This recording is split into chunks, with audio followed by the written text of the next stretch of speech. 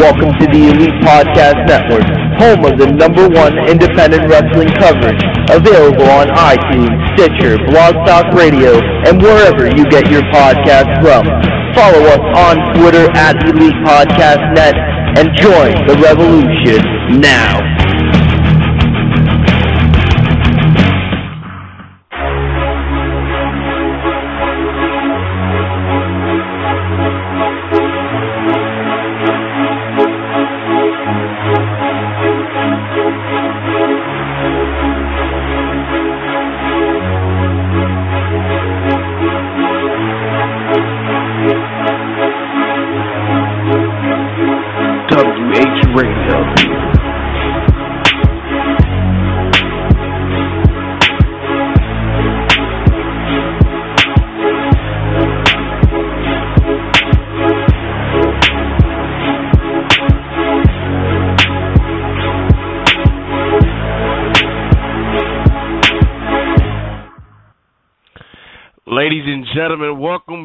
The Elite Podcast Network, and you are listening to Wrestling Heads Radio.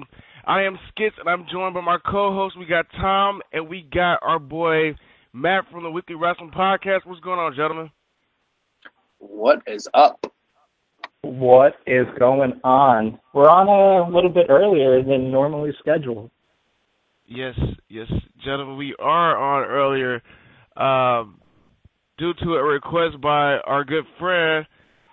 Half a Team Tremendous, new CZW Tag Team Champion, half of the Tag Team Champs, uh, Mr. Dan Barry. What's going on, man?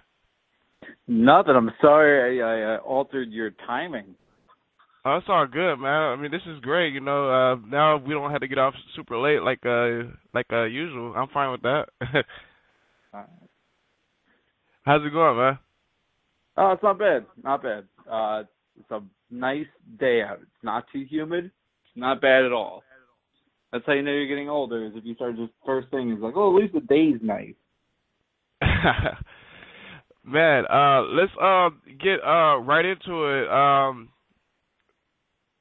let's talk about the um you you um you um team uh tremendous winning uh the uh, tag team uh titles at the CZW uh, uh matchup this uh past weekend.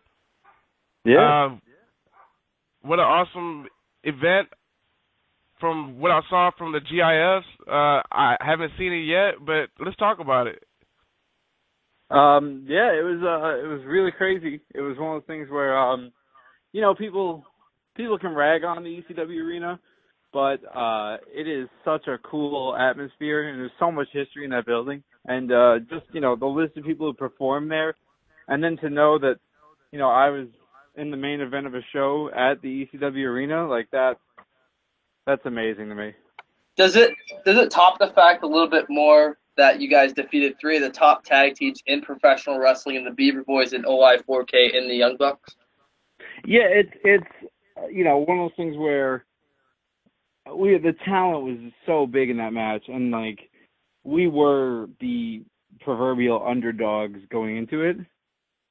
That it, it was a cool moment to be able to to snag a victory against teams that are that were sort of they were slated to win, if that makes sense.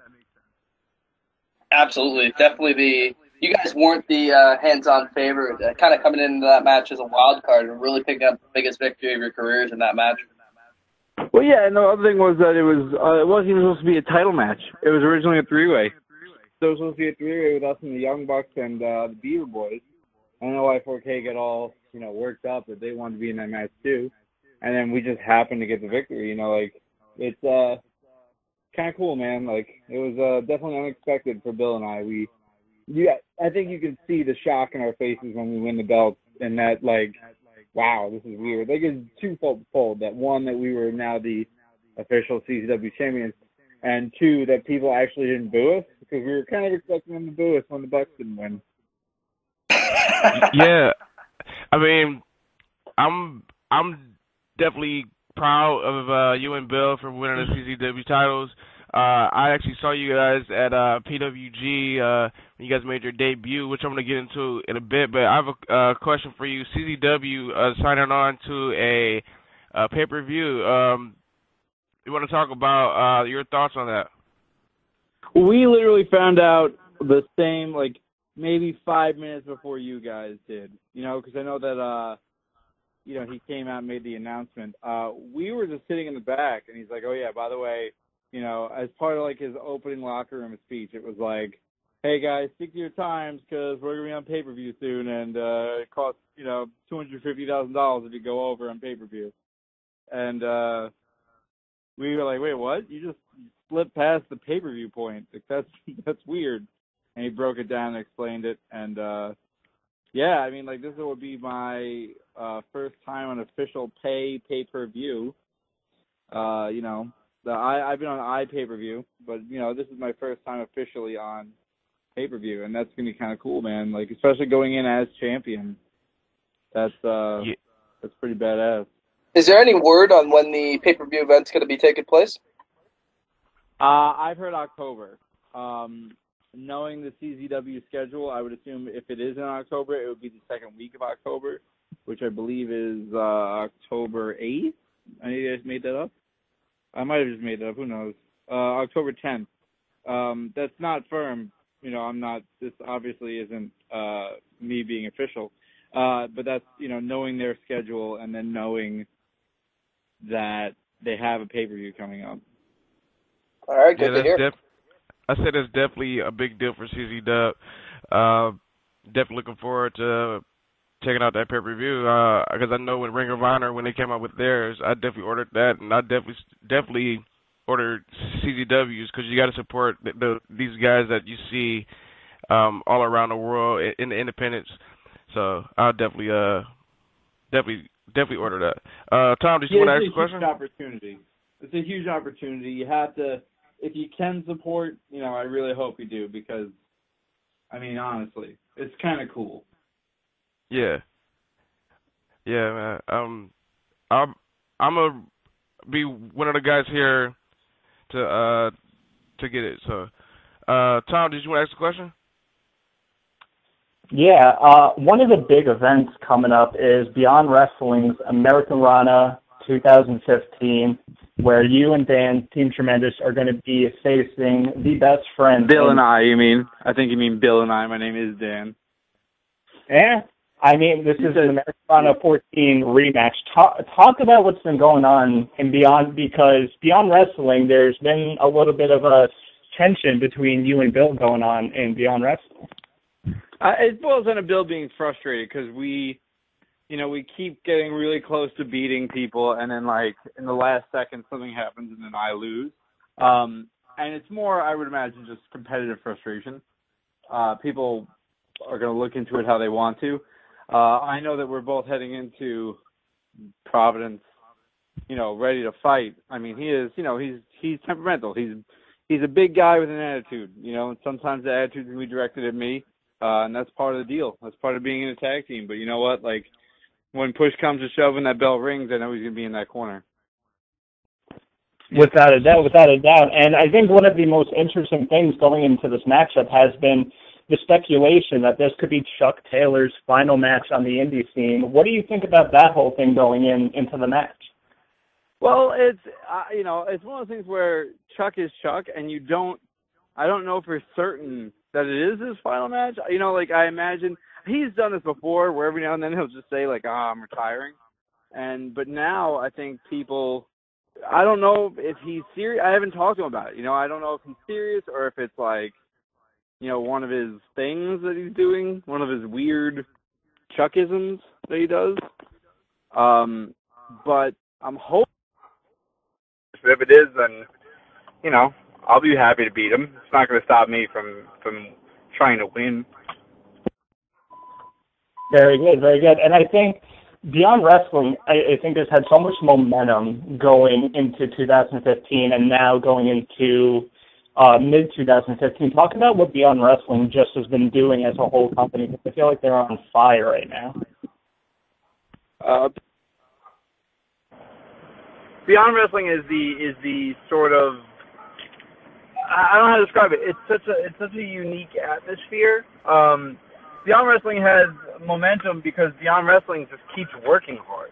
You know, it's not like some stroke of luck caused them to do well. It's you know they they go out there and they constantly try and outdo themselves, and I'm part of that. I am I'm happy to say that I am part of the the backbone of a company that is trying desperately to uh, to make a name for itself, and I think that it's sort of a you know it, you can compare it to indie wrestling as a whole, and even me and Bill, I would say, in that like people weren't taking it seriously, but now they have to because now it's actually doing things. Um, you know, good, bad, or indifferent. I think uh, Beyond Wrestling has made some real big moves uh, this year, and I think that you know, Americana will be the, the culmination of those big moves. Definitely, without a doubt. Uh, I'll throw in a few plugs for them because I think I have to. LookMonNoFans.com, SmartMarkVideo.com. Go out and support it. Beyond Wrestling has been tremendous, no pun intended. At Beyond Wrestling on Twitter too. Of course, of course. Yeah. All right, um, Matt, also, oh, never mind. um, yeah, Talk over um, yourself. Don't yeah, Dan. I actually want to talk about um, you uh, and uh, Bill making your debut at DDT four, which I haven't happened to be there, and I believe you guys were the first team to be announced uh, to be uh, in DDT four, which was a big deal. I'm pretty sure uh, me and uh, Matt, I believe we were on Xbox at the time, and we both uh, just went crazy when we saw you guys uh, get announced. Yeah, Uh, definitely uh, very, very well deserved. We it was uh I gotta tell you, like the way that all worked out was so crazy. Like uh you know, I was I was I just gotten home from something. I think I had comedy and I got an email and it was uh it was uh PWG and they go, Hey, you guys free this day? So I immediately just like called Bill. I was like, Look, we're free this day. I don't care what you have going on, you're making it go away. And uh you know, he's in typical Bill fashion. He's like, absolutely. And uh, we we agreed, and uh, he goes, okay. As soon as I agreed, he goes, all right, just send me your names and your birthdays so we can find out your play information. I'm like, sure. That was the entire conversation. I went to bed shortly thereafter because I wake up at four o'clock in the morning, and I woke up to legitimately hundreds of mentions and tweets and. uh I went to their announcement on their page and it had like 200 something retweets. Like it was just like it blew up. It was one of their, uh, you know, not to whatever. It was one of their bigger announcements of that show. It was the the amount of attention that we got getting into it. Um, it was cool, man, because it was like we were the first team announced. Then when you get to DDT4, we were the first team to walk through the curtain in the first match on the show, and it was like it was essentially The match was essentially as if awesome, by the way. Thank match was you. awesome, by the way. I appreciate that. I do. Uh, it was it was a cool experience. It was one of those moments where I, I felt like PWG was like, uh, "You're gonna go out there and you're gonna sink or swim, and we're not trying to help you." And I was like, "Perfect. That's when I am the best. That's when I feel the most comfortable. Is when I have something to prove." And uh, I think that we, you know, we just got announced for Threemendous, which is next week, and uh, I think we proved that we can hang in PWG uh, especially against the Beaver Boys, who are two of my, you know, good buddies. So I'm glad that that's the match that I got. And and uh, now you guys are going against the world's cutest tag team, which is Joey Ryan and Candice LeRae. Uh, talk about that real quick. Well, we wrestled them before. We wrestled them at WSU for uh, when Beyond Wrestling was part owner of WSU. Uh, they did an inter uh, promotional match, and uh, I for you gotta you gotta acknowledge both the talent of Joey Ryan and Candice LeRae. Like Candice LeRae is somebody who uh, can take punishment, and Joey Ryan is, is a guy who's test who stood the test of time as far as pro wrestling goes. You know, uh, the guy's been all over. The guy's been at it for quite a while. Yeah, he's you know he's an old war horse, but he's somebody who constantly gets attention. Uh, I think the big thing, the big takeaway is, you know, these guys are they just lost their their tag titles. They just got beat up by uh by the new Mount Rushmore. You know, uh, they're not. Uh, I don't That think was they're crazy, by the way. Yeah, I don't think they're as confident as they uh, as they were probably going into DDT four. Um, you know, they've been on a little bit of a of a of a beating. So, you know, not to capitalize, but you know, I want to get to that pay window. You know, so I gotta we gotta do what we gotta do to try and secure a victory over the world's cutest tag team, or as Bill calls them, the other world's cutest tag team, because he believes that we are the world's cutest tag team. I have one more question. Uh, I don't know if you can answer this, but um, are you guys now regulars on the PWG roster? Um, I don't know that I can confirm or deny it. Um, we were told, you know, uh, we were they emailed us after DDT4.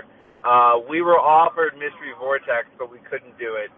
Um, and then we took uh, Threemendous, and he said, like, yeah, you guys you guys killed it. You know, like you know. So I I I, I feel like if we have another good showing this month, we will be as regular as we could possibly be. Um, my goal is to work there every single show. Uh, it's up to me to make that happen, and that's what I'm gonna we're gonna try and do. Definitely. I'm gonna pass the mic on to Matt. Uh, go ahead, Matt. Yeah, absolutely. Uh, talk a little bit about how you and Bill ended up getting together for Team Tremendous in the first place. That's something I wanted to know. Well, I met Bill at a show, an FTW show in Long Island, uh, probably a couple months before he got signed, and he was just doing a, a, a spot on that show. And he walked in, and he was like, you know, the one thing about the the the, the shows, the, the the company was FTW, and uh, they they weren't, you know, they weren't like get dressed up and go to these shows. Like he was used to like hearing how you should show up at WWE events and et cetera, et cetera. So he was wearing like dress pants and a dress shirt. You could tell he was like really uncomfortable. So I walked over to me and uh, my old tag partner Ken Scampi walked up to him and we're like, uh, "You don't belong here." And we were like, "Let's go to a bar." And so we took him to a bar. Um, and then uh, we just became friends we were just buddies. And then after that, uh, he got he was signed and he was taken off. He, he was unsigned, and after he got unsigned, he uh, you know he came over and he asked if we could be part of the Team Tremendous group, which was me, him, and Ken Scampi. And uh, then Scampi retired, and then me and Bill decided we'd be a tag team. And then we became cops because I convinced him that it'd be a fun idea to do, even though he didn't want to do it. and this brings us to this Saturday's House of Hardcore 9 show in Toronto. Talk a little bit about that opportunity. I believe your debut for the House of Hardcore promotion? No, it is not actually our debut. We've been on, I think we're on 6, 7, and 8. Uh, oh, first, that shows you how much I suck.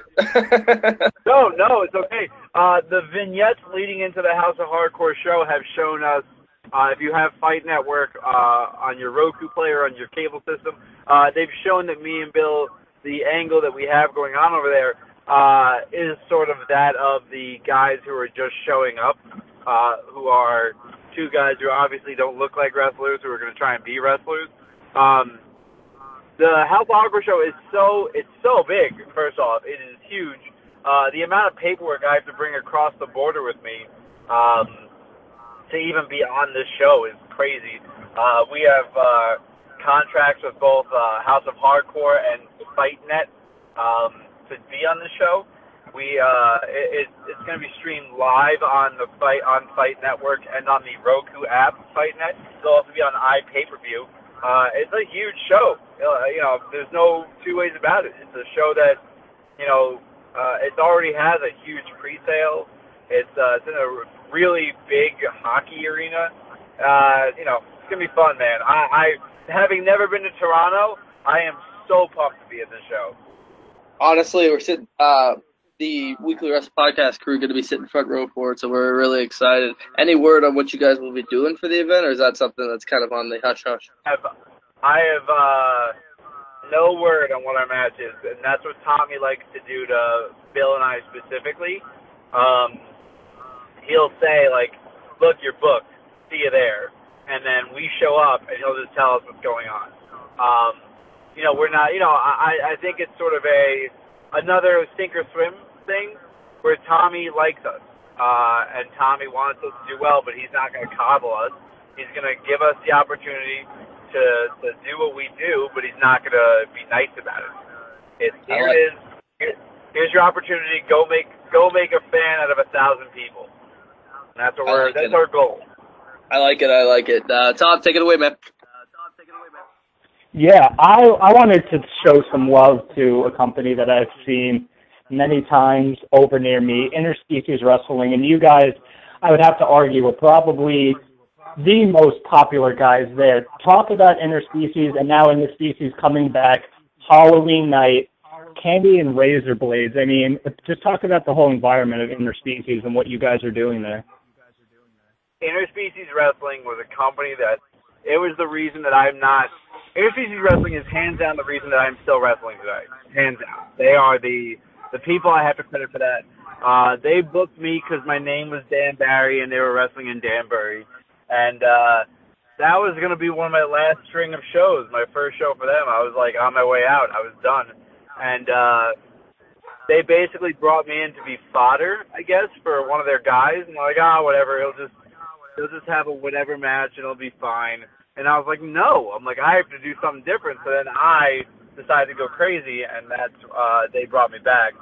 Interspecies Wrestling is also the the beginning of Team Tremendous. It is uh, we came out as the professional cop gimmick that we are now um, on their show, and they've given us. They basically said, do whatever you want. You guys can do whatever you want. Come up with something, and so we didn't tell them exactly what we were doing. We just came out dressed like that, and they let it happen, and uh, they let the weirdness take over. And if you like pro wrestling or you don't like pro wrestling, you'll like Interspecies Wrestling. It's got everything you could ever possibly want. It's adult humor themed pro wrestling without like porn- pornography. Although I will say, uh, I've seen Sexy Eddie's uh, wiener more than I care to. Um, not necessarily not necessarily in the ring, but you know, in general, as a as a as a standard I have, I've seen a lot of it. Um, but it is awesome, and it's it's so cool. I mean, without a doubt, it's it's such a different environment, and I can remember at the Interspecies show, uh, Boner Jam three back in February, you actually took a pretty nasty fall trying to go for that uh, signature corkscrew tope con hilo, and you seemed to kind of uh, ding your shoulder up, and I saw the pictures on Twitter, and you look like uh, you look like you were banged up a little bit from that. Was that uh was that something that you maybe reconsidered not doing that anymore because you, you're keeping on doing it? But was that one moment where you're like, maybe I shouldn't do it anymore? No. Uh, anytime I get hurt doing something, my next goal to do it is to do it the next match I go out. Um, except for one move that I'm never going to do again. But that one, uh, that one move would be the uh, the fall away slam moonsault to the outside of the ring, where I landed on top of my head and nearly died. But uh, the shoulder, uh, I suffered essentially. I my shoulder is always kind of been bad. Um, the left one, I hurt it originally wrestling. Uh, just to throw this back, uh, the SAT. I went for a hurricanrana and I planted my elbow and it just popped out of the socket. Um, I think this re-aggravated it. I sprained the AC joint and I did a number on the ligament. Uh, no surgery required, but I was told not to use the arm. So for about three weeks, I did not use my left arm. But I obviously can't stop doing that. I'm a pro wrestler. Uh, I have to wrestle. And that's that's it. You know, you you you, you, you muscle through it. You uh you you know you grit your teeth and you eat shit for a little bit. Yeah, so I, I I can remember the reaction just when you landed. People were just like, "Oh, he's automatically hurt." But you and Dan went out there and busted your butt that night, and that was the one time where I did got to meet you, and you are a stand-up, very cool guy, and I can't wait until Halloween night where Interspecies returns. Yeah, that's gonna be awesome. Uh, we we just agreed to do it. We uh, Halloween's a big night for Bill. Uh, that's his favorite night of the year, and uh, you know, for him to wrestle on it's pretty cool. He's pretty excited about it, and we might come out in costume. Who knows? I got a question talking about tournament for tomorrow. Three. It was about eight months ago. You guys defeated the Gentlemen's Club, the Juicy Product, and the Young Bucks in the same night to win the tournament. Talk a little bit about that and what that did for you guys. Well, put it in perspective, we beat the Gentlemen's Club, then we made the Juicy Product break up because we beat them so quickly, and then we beat the Young Bucks in the main event of the show. Um, that was a crazy, crazy night. Um, we had I wrestled the night before in the main event, and I was a five on five match, and the, the it was just mayhem. Uh, I wrestled for something like 35 minutes the night before, and I was the last person eliminated. And then we came out to face um, the the Gentlemen's Club, which was Chuck Taylor and uh, Orange Cassidy and the Swamp Monster. It was just a cool night. Like it was make or break for Team Tremendous. You guys definitely made it. Thank you. Uh, all right. I have one more question, Dan, because I know you uh, had to go. Um, status with Team Tremendous returning to Evolve. Because uh, I know they just had a couple uh, events uh, this past weekend, and uh, no Team Tremendous. Uh, is there a possibility uh, we'll see you guys back uh, over there? Working with them? Well, I'll, I'll put any like negative rumors to rest. We are on very good terms with Gabe. Um, there has been expressed interest, except that it's just the time frames haven't worked out. Um, you know, we uh, are in a very fortunate circumstance where we are booked fairly far in advance now, which is great. But it leaves, you know, when Gabe wants a tag team and he thinks of us, you know, three weeks before, you know, there's a chance that we are unable to do it. Um, Gabe, uh, our experience at Evolve has been awesome. We uh, we had the one match that was fun, enjoyable. Uh, we got along with everybody in the back. We know most of the guys in the back at this point through you know all the other companies we wrestle for with them. Um, Evolve is a fun company to work for as a wrestler, and I have no doubt we'll be back there. It's just a matter of when. Definitely, man. Uh, I wish you could stay on longer so we could talk more with you.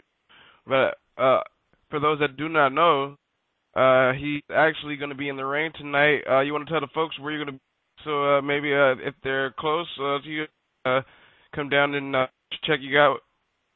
Well, they they better be very close because I'm in Levittown, New York, and the show starts in about 30 minutes. Uh, it is. Uh, I was doing stand up this evening at Governor's Comedy Club in Levittown, New York. Uh, eight o'clock show. If you can't make it there or you live nowhere near Levittown, fear not.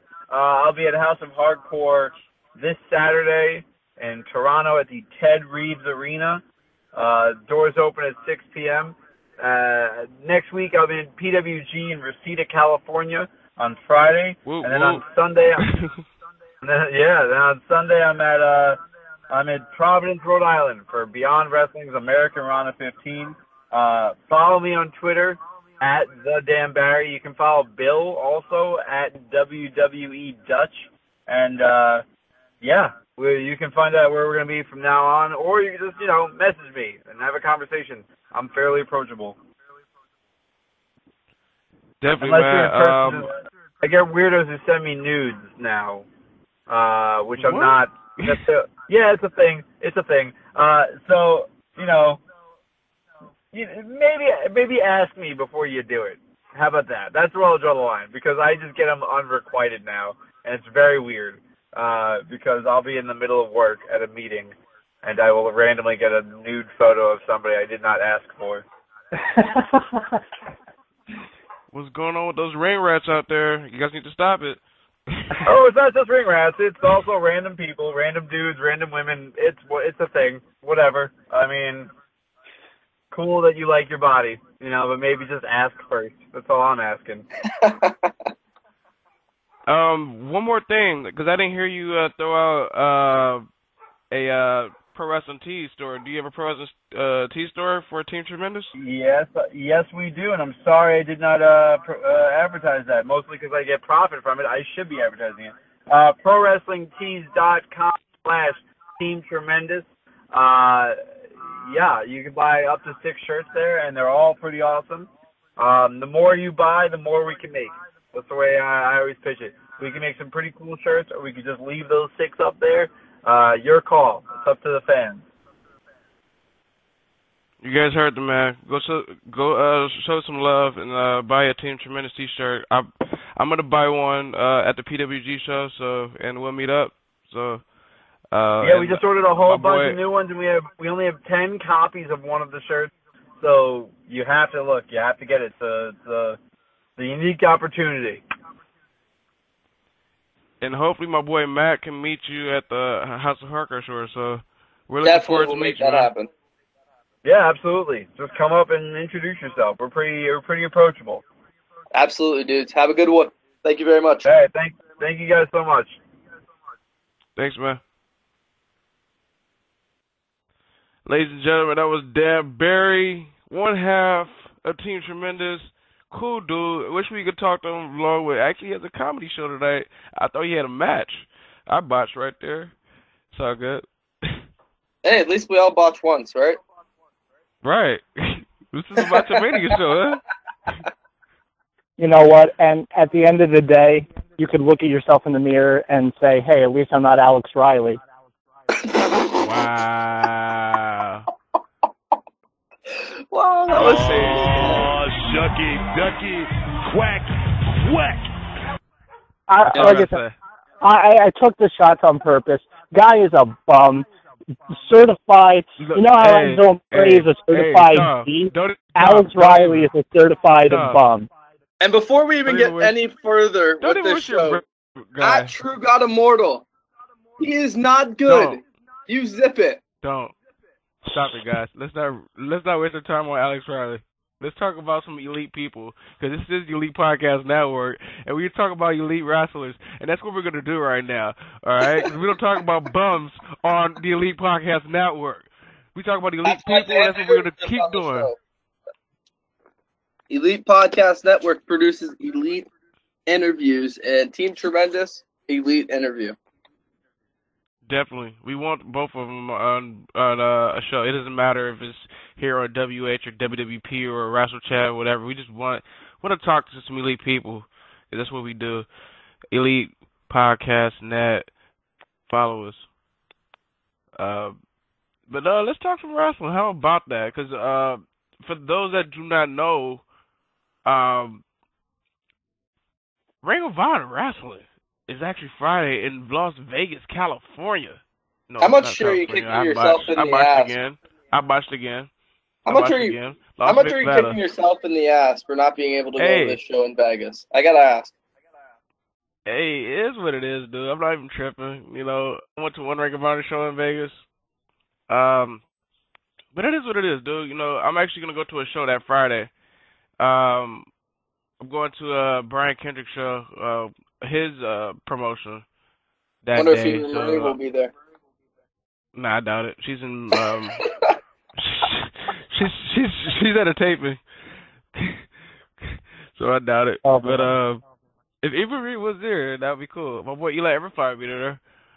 So Eli Um, Everford, one of the top talents in the area. So check him out at the show on Friday. I'm sure Skits will be throwing out some plugs later on. You guess who else is gonna be there? Your boy, Comrade. Comrade's gonna Come be on, there. my boy. Yes. Comrade. Comrade is gonna Comrade is gonna be here. Uh, we- um, let's talk about Ring of Honor though. Uh, I almost thought my mic went out, but it didn't. It was a fucking dog outside. Um, shout out to Oscar by the way. He called and hung up. I have no idea why, but I mean, it is what it is. I, you know why? Because I guess uh, when Tom was like, "Go ahead, Matt," he, he wanted to go next, so he got kind of he he he got mad. So He's Oh, cheesed. Okay. Um, let me uh pull up the card for Ring of Honor.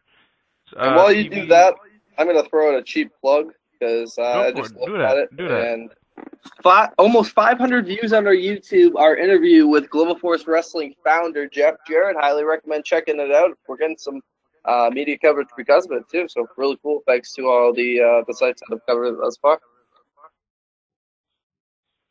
Yeah, Double J, uh, doing big things. Uh, shout out to him. Shout out Global to Force. Demore. Some big things going on with them, but uh, we'll we'll talk about that in a little bit. I'm sure uh, this Ring of Honor card be- is something else though. Since we also throwing out plugs, um, just fucking uh, what I need people to do, if you haven't, you need to go ahead and subscribe to Weekly Wrestling Podcast and Wrestling Heads, both uh our YouTubes, because this is the best thing to do right about now. But just like you said, Ring of Honor, uh, it's basically a TV title. Uh, tur- I wouldn't say is it a tournament? Yeah, it is. It is. A, it's a mini tournament, yeah. And the same night, they're doing like three triple threat matches, all the winners, and another triple threat to crown the number one contender. You guys, you guys want to do some um predictions too? Let's let's, let's predict like winners too. And Let's I know do it. um I know PD um PW Ponderers they'll probably have the uh results up. So, but Christopher Daniels um isn't he is half of the Ring of Honor Tag Champs. He is actually in this tournament going against Mark Briscoe. If I had to choose on this one, I'm gonna go Mark Briscoe. The only reason why because uh you know Jay Lethal, you know he already beat Jay Briscoe.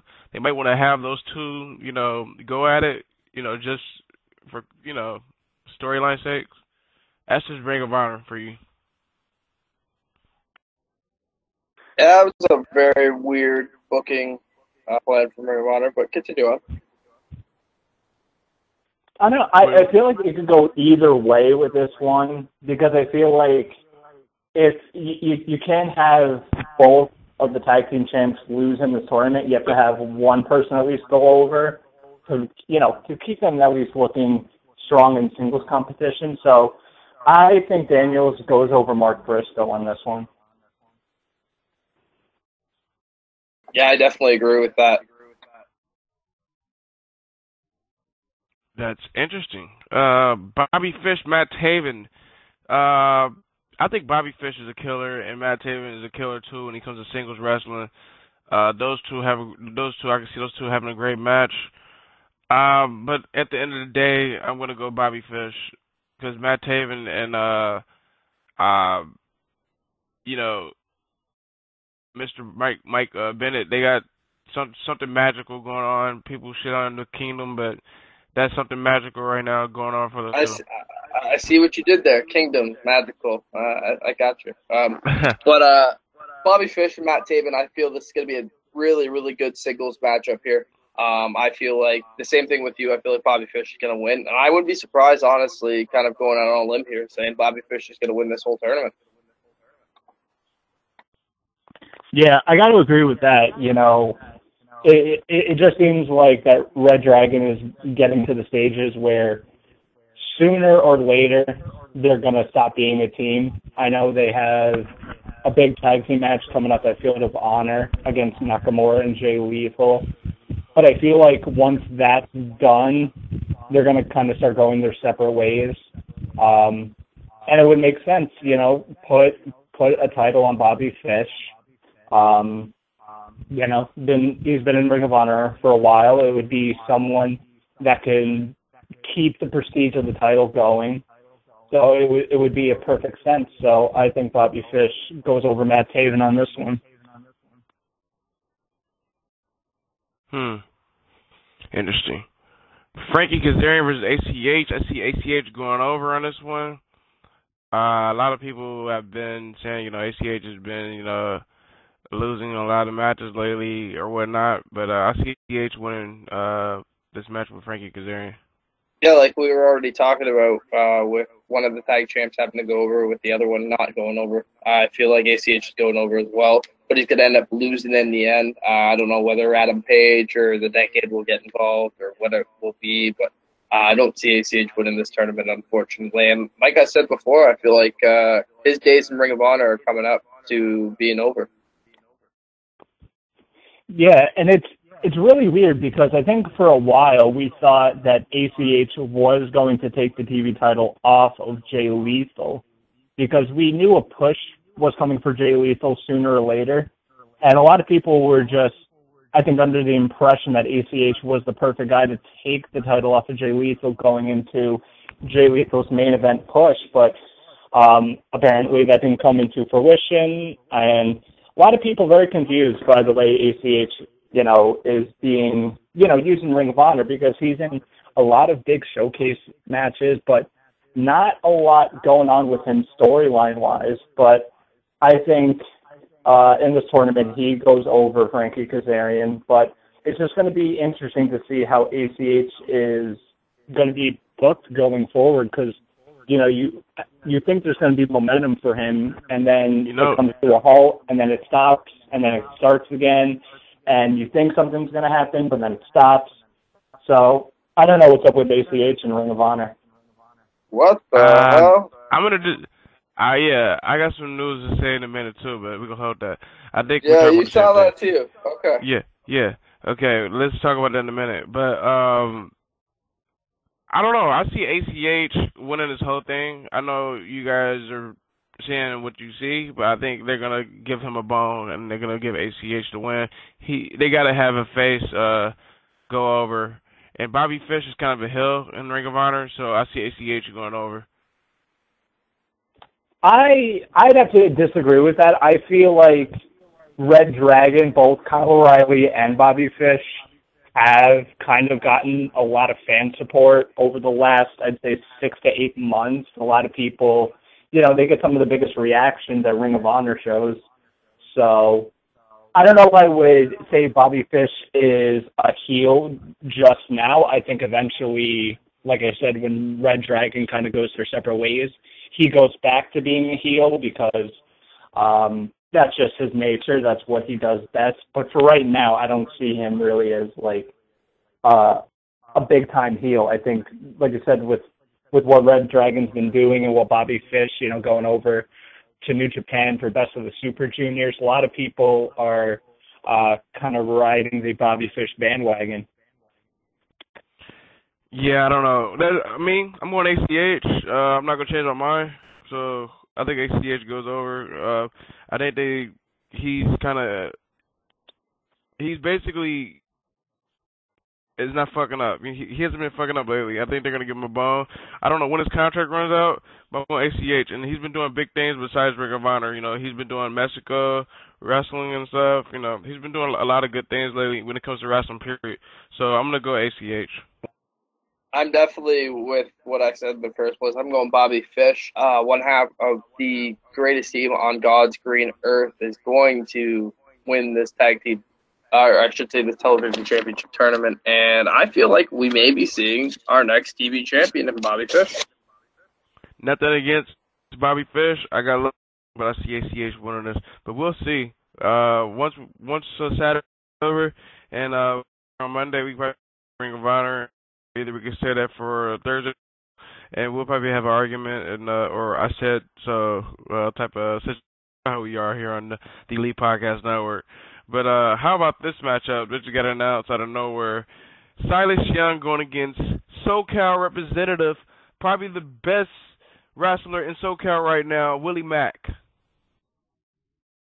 Really, just out of nowhere. Um, I wasn't expecting Willie Mack to be debuting in Ring of Honor anytime soon. I saw his tweet uh, a little bit ago saying, uh, "Boom, got some big things coming this weekend," something like that. I was like, okay, maybe he's going to, uh, maybe he's going somewhere else. I know TNA is taping soon, so maybe I was thinking that as well.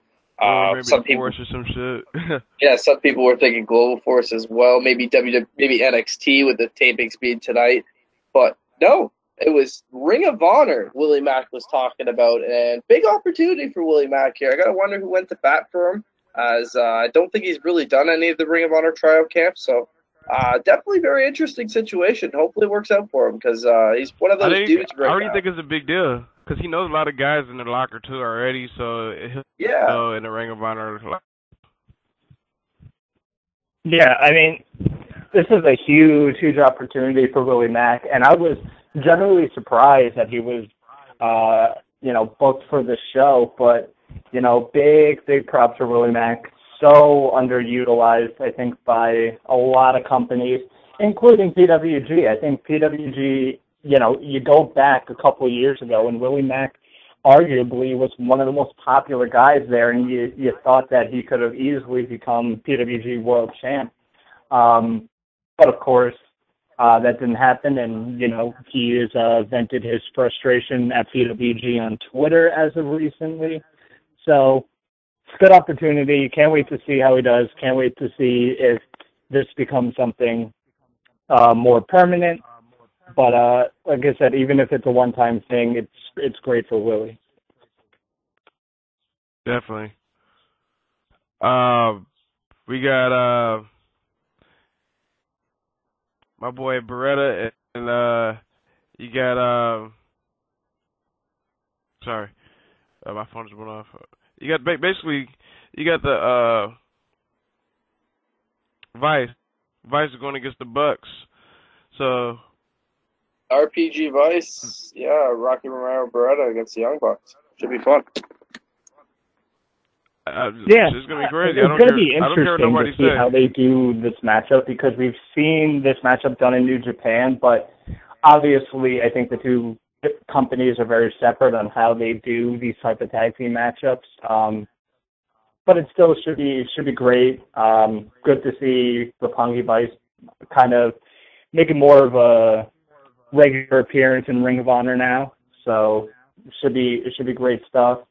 Um, you There's a lot of good teams in the Ring of Honor tag team division right now. I mean, you got two solid uh, tag team matches on this show. Obviously, the big random main event. I wouldn't call that a a solid tag team match just because of the thrown together team. Not not anything against Towns, but uh, the real tag team division, like just saying, like you got Red Dragon, you got RPG Vice, the Young Bucks, the Kingdom, the Addiction, the Decade. Uh, there's a quite a lot of teams in that division right now. So uh, really you know good to see funny? Ring of Honor finally Funny- paying attention to it. It's funny that you said because tag team divisions are good. Never has or nothing. I wouldn't say like that. that. I I was saying a little while ago it was kind of lacking when Red Dragon was champions. I mean, there was no challengers really for the titles, and it was kind of a a, Well, a stale division That's for a little when what's bit. the there. name? That's when Raymond Rowe got hurt. So Yeah, they you're really right. had nobody. Yeah, and you have And to that also was before the Kingdom was together. Yeah, you also have to think now, now that the Ring of Honor World title is off of Jay Briscoe, um, probably we're going to see the Briscoe brothers teaming up, I think, more than we've seen in the past year. And, you know, War Machine is back doing stuff. Killer Elite Squad is being booked more in Ring of Honor. So tag team division definitely picking up a lot of momentum in Ring of Honor when, uh, you know, I know we were talking about it for a while where it was definitely lacking. We were def you know red dragon was basically the only team. And then you know you you they would throw the young bucks in every every couple months and that was really it. Other than that there wasn't much going on but now there's the kingdom the addiction um all those teams that we mentioned it's it's it's great stuff and hopefully they can you know you can never have too much tag teams i think because there's always new opportunities and new opponents so hopefully Ring of Honor keeps uh, keeps up the momentum in the tag team division. I gotta ask you guys before Yeah. we get off the Kingdom note. Uh, Marie Kanellis set to make a special announcement. Do you guys think this is going to be a Dixie Carter type announcement where it's just going to fall flat on its face? Or do you think it's going to be something where it's actually going to make the Kingdom worthwhile? I don't know. We'll we'll have to see what happens. I'm sit back and relax. Just wait and see what happens. I don't want to make any uh, wrong uh, calls here. Yeah, I mean, I think it's it has to be something somewhat significant. I wouldn't see it as like a Dixie Carter type announcement where it's just going to turn out to be nothing, and the hype was basically, you know, all for nothing, and then the crowd gets disappointed and all the fans get disappointed. I think it's going to be something pretty significant. What it may be, I have no idea. Um, who knows? Who knows? Like I said, there's been uh there's been some tension in the kingdom, so maybe a new member gets revealed into the kingdom and uh, a member gets kicked out. Who knows? That's I think that's the point of uh, you know watching the video on demands when they come out. Yeah, we'll definitely have to see what happens with that one. Uh, also, Ring of Honor, uh, you have Jay Lethal, Austin Aries, and Moose versus Jay Briscoe, Dalton Castle, and Kyle O'Reilly. Now that team with Dalton Castle and with teaming up with Kyle O'Reilly and Jay Briscoe is kind of weird. But hey, Dalton Castle, you're in a big matchup.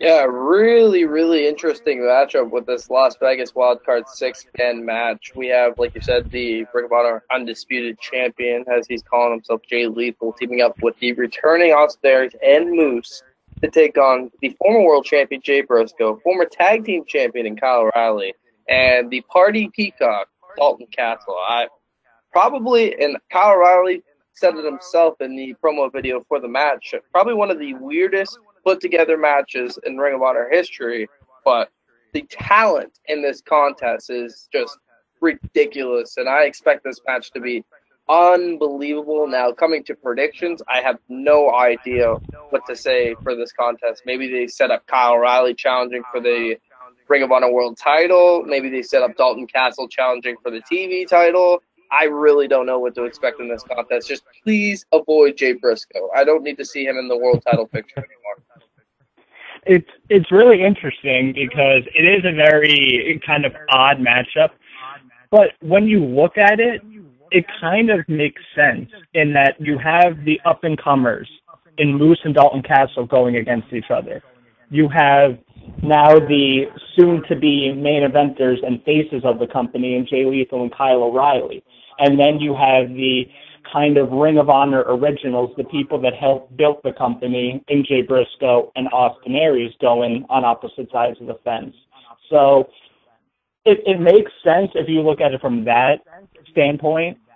But um yeah, I mean should be really entertaining, lots of fun. Um can't wait to see all the all the different spots that these guys can do. So much possibility with the with this matchup. Yeah, with Austin Aries too making his return to Ring of Honor, so he's definitely gonna go all out. So You guys feel like he's going to be around on the independent scene for a little while? Is he going to be one of those guys, kind of like Samoa Joe, that kind of just transitions to WWE after a couple months?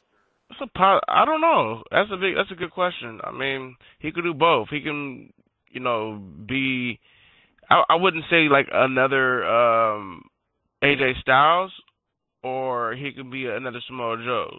What I mean by another AJ Styles, is how AJ he did independence and he did a company that's super known like New Japan Pro Wrestling. You know, like he can do Ring of Honor that's super known, or he could do what Chris Hero did you know, just go everywhere. I haven't seen nothing announced with him going everywhere yet. So who knows? That's that's just like uh let's sit back and relax and wait to see to to till you do that first Ring of Honor show.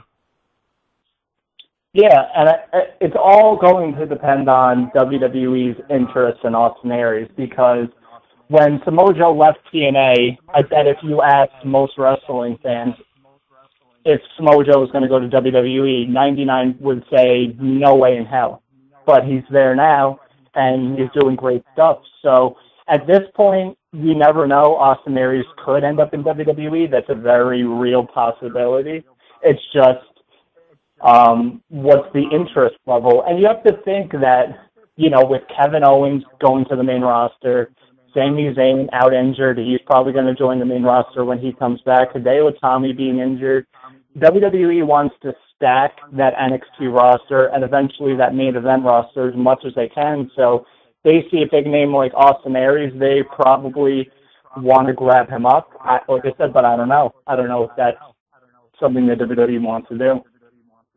Speaking of I think- NXT, I I you want wanna you want to go here, Skips? Hold on, we have, let's finish this one more match and then we can go ahead. Um, Oh, there's another match. I was gonna, yeah, one more match. We didn't mention. I was gonna say one more thing about the whole uh, Austin Aries thing. Uh, I definitely agree with Tom when he said really want more indie names. Austin Aries. I think that's big name to go. I think that's why we're going to see a lot of those guys leave the independent scene, like we've been talking about the Johnny Garganos, the Biff Busicks, the Chuck Taylors, the Eccentrics, just because of WWE wanting so many names to start selling the NXT brand as a major. I think that's not a bad deal either. Especially with them doing big arenas like the Barclays Center the day before SummerSlam. Unreal. I don't think that's a bad deal of getting more indie names. Uh, because you know why? Because now it gets the guys in the that are not star names yet to step their game up and get into that main that main event slot when it comes to the indies. So I, I will say for at least the WWN live products, for sure that's going to be something because Gabe losing a lot of his top talent there with that those signings. Yeah, Uh, and we still don't more- we still don't really know who's signed or who's not signed. Um, I think a lot of people are speculating Chuck Taylor because he announced his retirement, quote unquote, and I did notice that he deleted all of his tweets from his Twitter account, which uh, maybe somebody else should have done when they did their WWE tryout. But um, you know, you know, Gargano had the dark match. We don't know about Busick and Gulak. But I think that there's so much talent on the indie scene that it can be replenished so easily. Yeah, you're losing big stars like Gargano and Busick who have built their name up and built these companies up, but there's so much talent that you could just easily throw in another name, and it's not like people are going to stop going to the shows.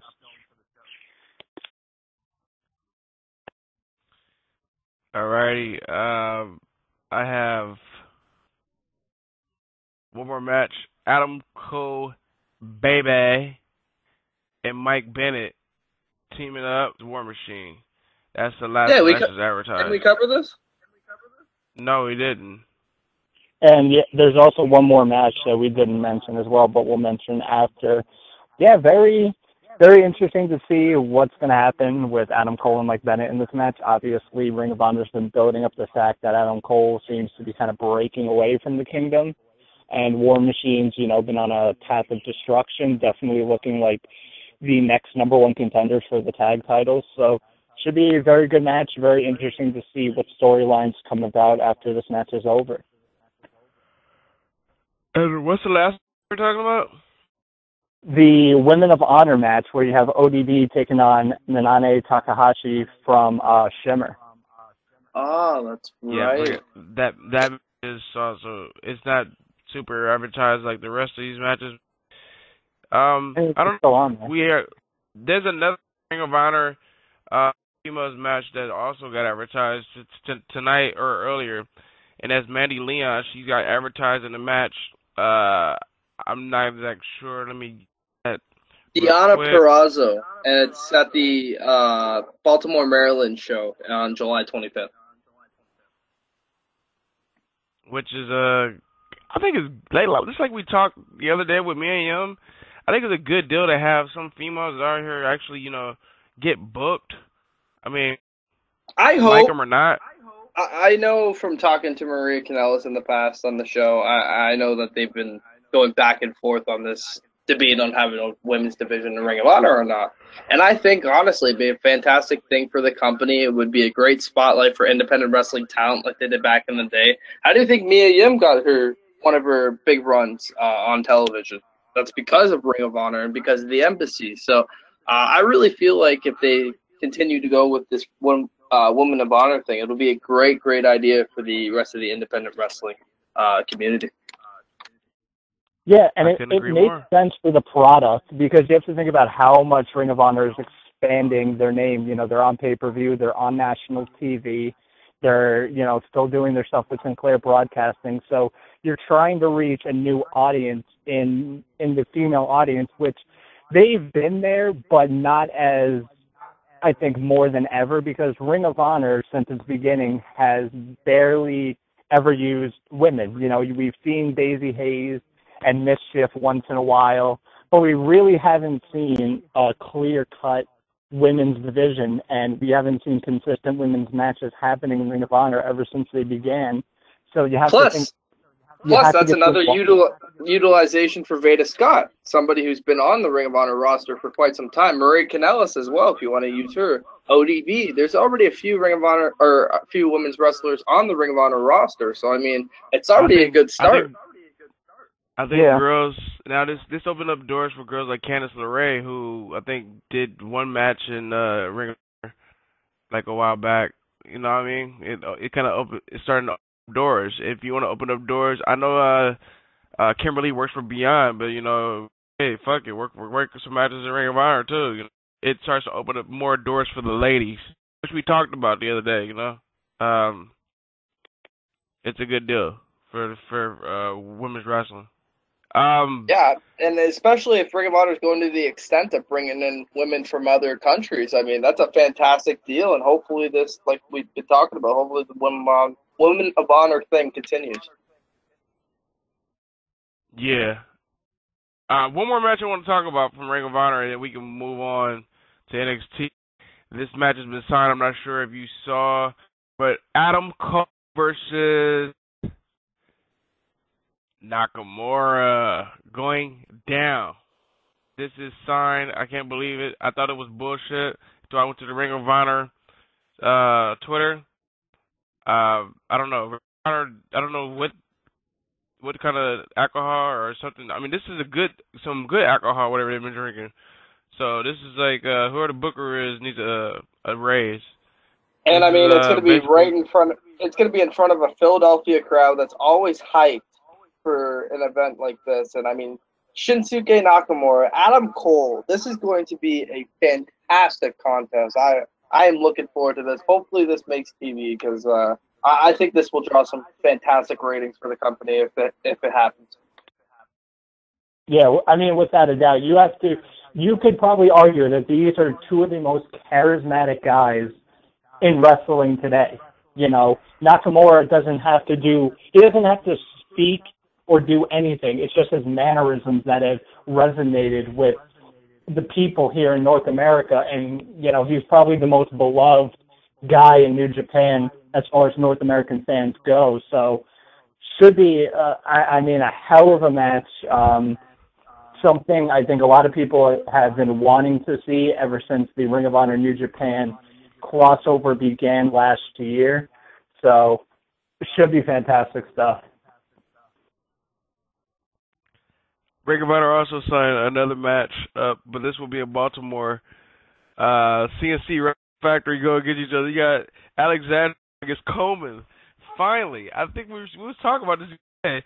Um, I think me and Matt was talking about this the other day off uh, air. How when are they gonna have those two go at it? I was like, he kind of basically turned heel on, on his boy, and he was like, no, he didn't. He just left the ring. Well, look, there we go. Now we finally get them in the ma- um in the match. This is probably like Coleman's match, I would say. It's probably like a farewell type match for him. You know, have his tag team, his former tag team partner, be his last match. Would you guys agree with that? I definitely feel like we won't see Caprice Coleman used in a more um,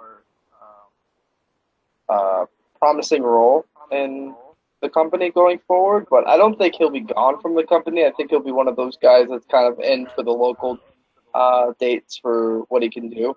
But I don't think he's going to be done with the company. He's always somebody that's kind of stuck around the company no matter what. And I think that's going to be the same case. But uh, I think just another stepping stone for Cedric Alexander, a little strong going into his match with Moose uh, at the Death Before Dishonor iPay per view. So uh, should be a good one.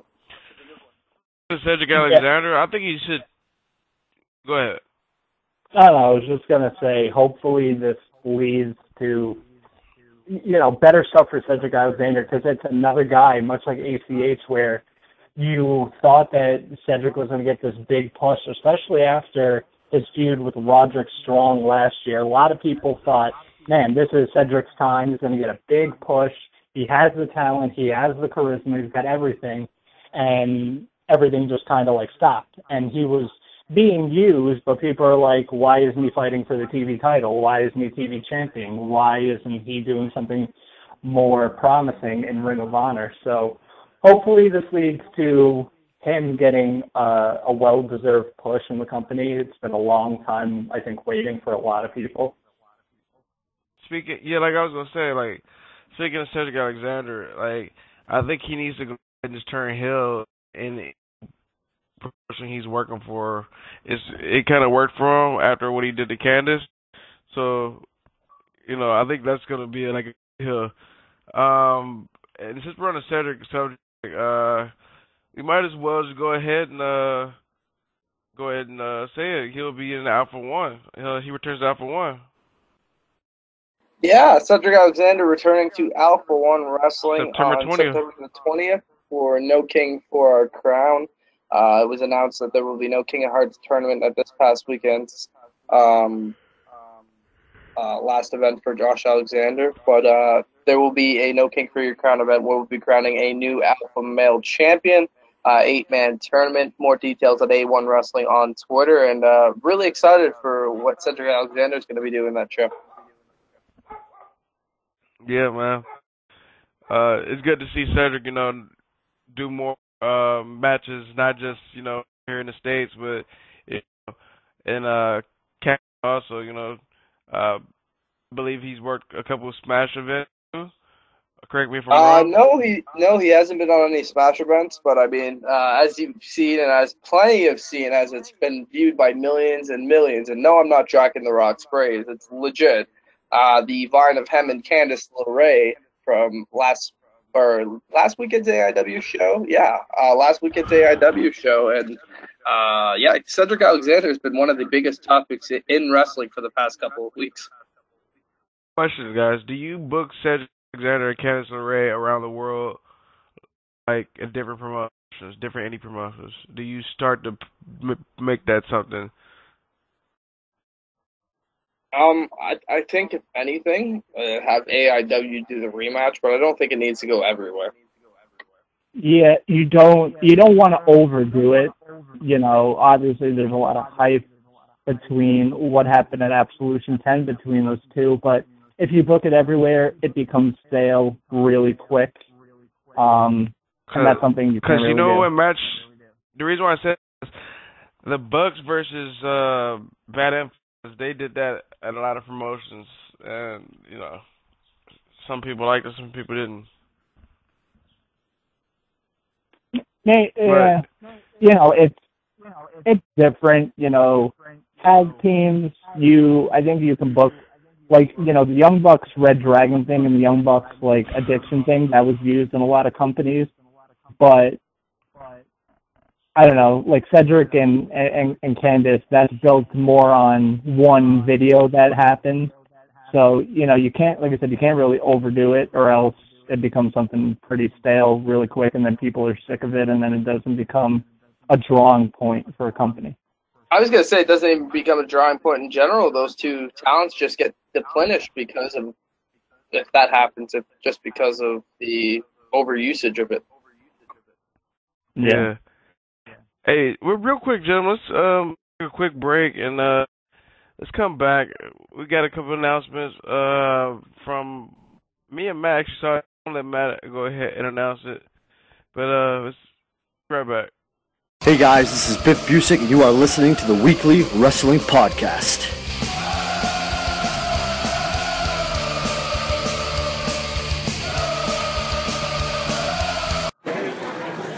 Hey, this is Biff Busick, and you are listening to Wrestling Heads Radio. Welcome back. Biff Busick showing love to both fucking uh shows here uh that are here on uh, the Wrestling Heads Radio at, at, at the time. Uh let's go ahead on uh Oscar Salazar. He's gonna join us uh as uh go ahead and uh folks know what we just saw on Twitter. And uh this is shocking.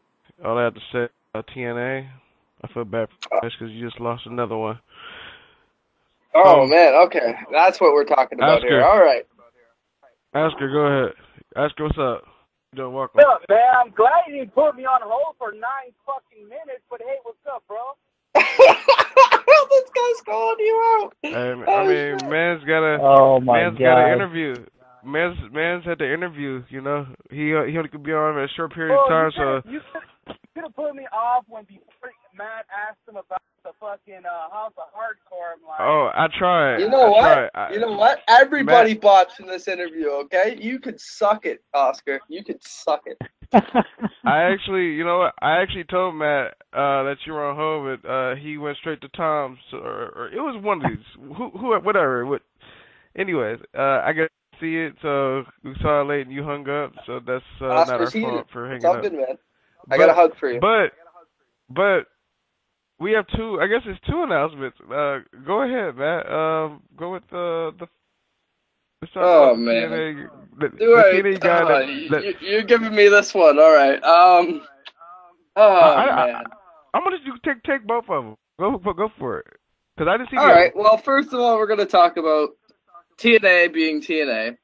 Now, Uh, at the past TV tapings, Hernandez joined the Beatdown Clan. Everybody's like, "What the fuck? He's contracted to Lucha Underground." He right. apparently told the company he wasn't. Here we are, a couple weeks later, and it is now it is now being reported and confirmed by last night's TNA Impact Wrestling uh, taping, or I should say, showing that Hernandez is still contracted to Lucha Underground, meaning that A, he cannot appear on any of the segments that were taped for television going forward. B, MVP and Kenny King are now without a spot on TV because of this retardedness. And C, we're gonna see fucking Slammiversary spots in the spots for Hernandez instead of them actually going out of their way and filming other shit for the spots. What the fuck is wrong with this company? Wow. But hold on. This sounds like more Hernandez fucked up than TNA No. fucked No, there, well, it's it's both sides, but it's mainly TNA because as soon as Hernandez went to TNA, TNA offices should have contacted Lucha Underground offices and said, "We want to use Hernandez on our TV. Is this going to be okay? Is it going to be a problem? Let us know." That is up to TNA to contact Lucha Underground offices and say, "We want to use this guy. Is this okay?" This is another TNA fuck up. Am I surprised? Absolutely not, because this PR department does not have their shit together. The product on TV is good still, but And that- you can't, you can't how many motorcycle- fuck ups can you have? That motorcycle you just heard in the background, that's how fast TNA's or Hernandez TNA run went. Jesus. And I love this quote by uh, Dave Meltzer in the latest Observer. So here's a quote. He was talking about John Cena. So he goes, Cena's first role in a non-WWE major film is as a former bodybuilder boyfriend of the lead character played by comedian Amy, Amy Schumer in the movie Trainwreck, which is about her dating life and not about the TNA promotion. So accurate.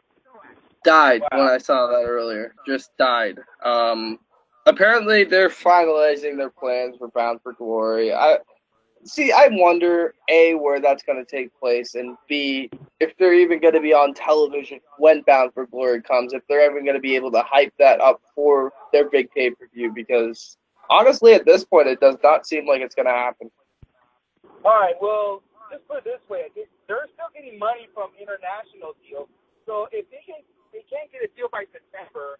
There's a good chance they will not be aired on the totally internationally. So TNA, could- because they're, they're on thin ice, but the international um, deals are still keep having, you know, still keep them But- But with that So- said, but with that said, a lot of the U.S. audience is the audience that's buying these pay-per-views because the UK gets it for free via their TV station. So what revenue are they getting from these pay-per-views if they're just giving them away for free practically? I know that's all they got. And plus, barely do pay-per-views anyway. I mean, That's what I'm saying. If we get to Bound for Glory, a pay-per-view, and they're just practically giving away for free, how are how are they going to stay alive if they're making basically no money besides the ticket sales? That's why I said they're in thin ice now because I don't know if any American uh, network will take them. I, I just can't think of anybody. Spike just got rid of them. They they try to get rid of them. And it's the fact that and it's the fact that they're going to be dropped from two major television networks. That's going to just turn off anybody else to try and sign them to their network. Well, I don't know if you guys remember. This is the third one. Remember, they got dropped off by um, Fox Sports West. Remember that? They on there. Yeah, that's very true. That's a very good point. Yeah. But I, it's not to nail the just nail the point there. You know, he's right. It, it, it, it, both, it, both of their fucked up pretty much because TNA should have known that he was doing Lucha Underground taping. Hernandez probably would have said maybe he knew. He probably said, "All right, let's just go to TNA and make some more money." While Lucha's on hold right now, he don't know the future of Lucha.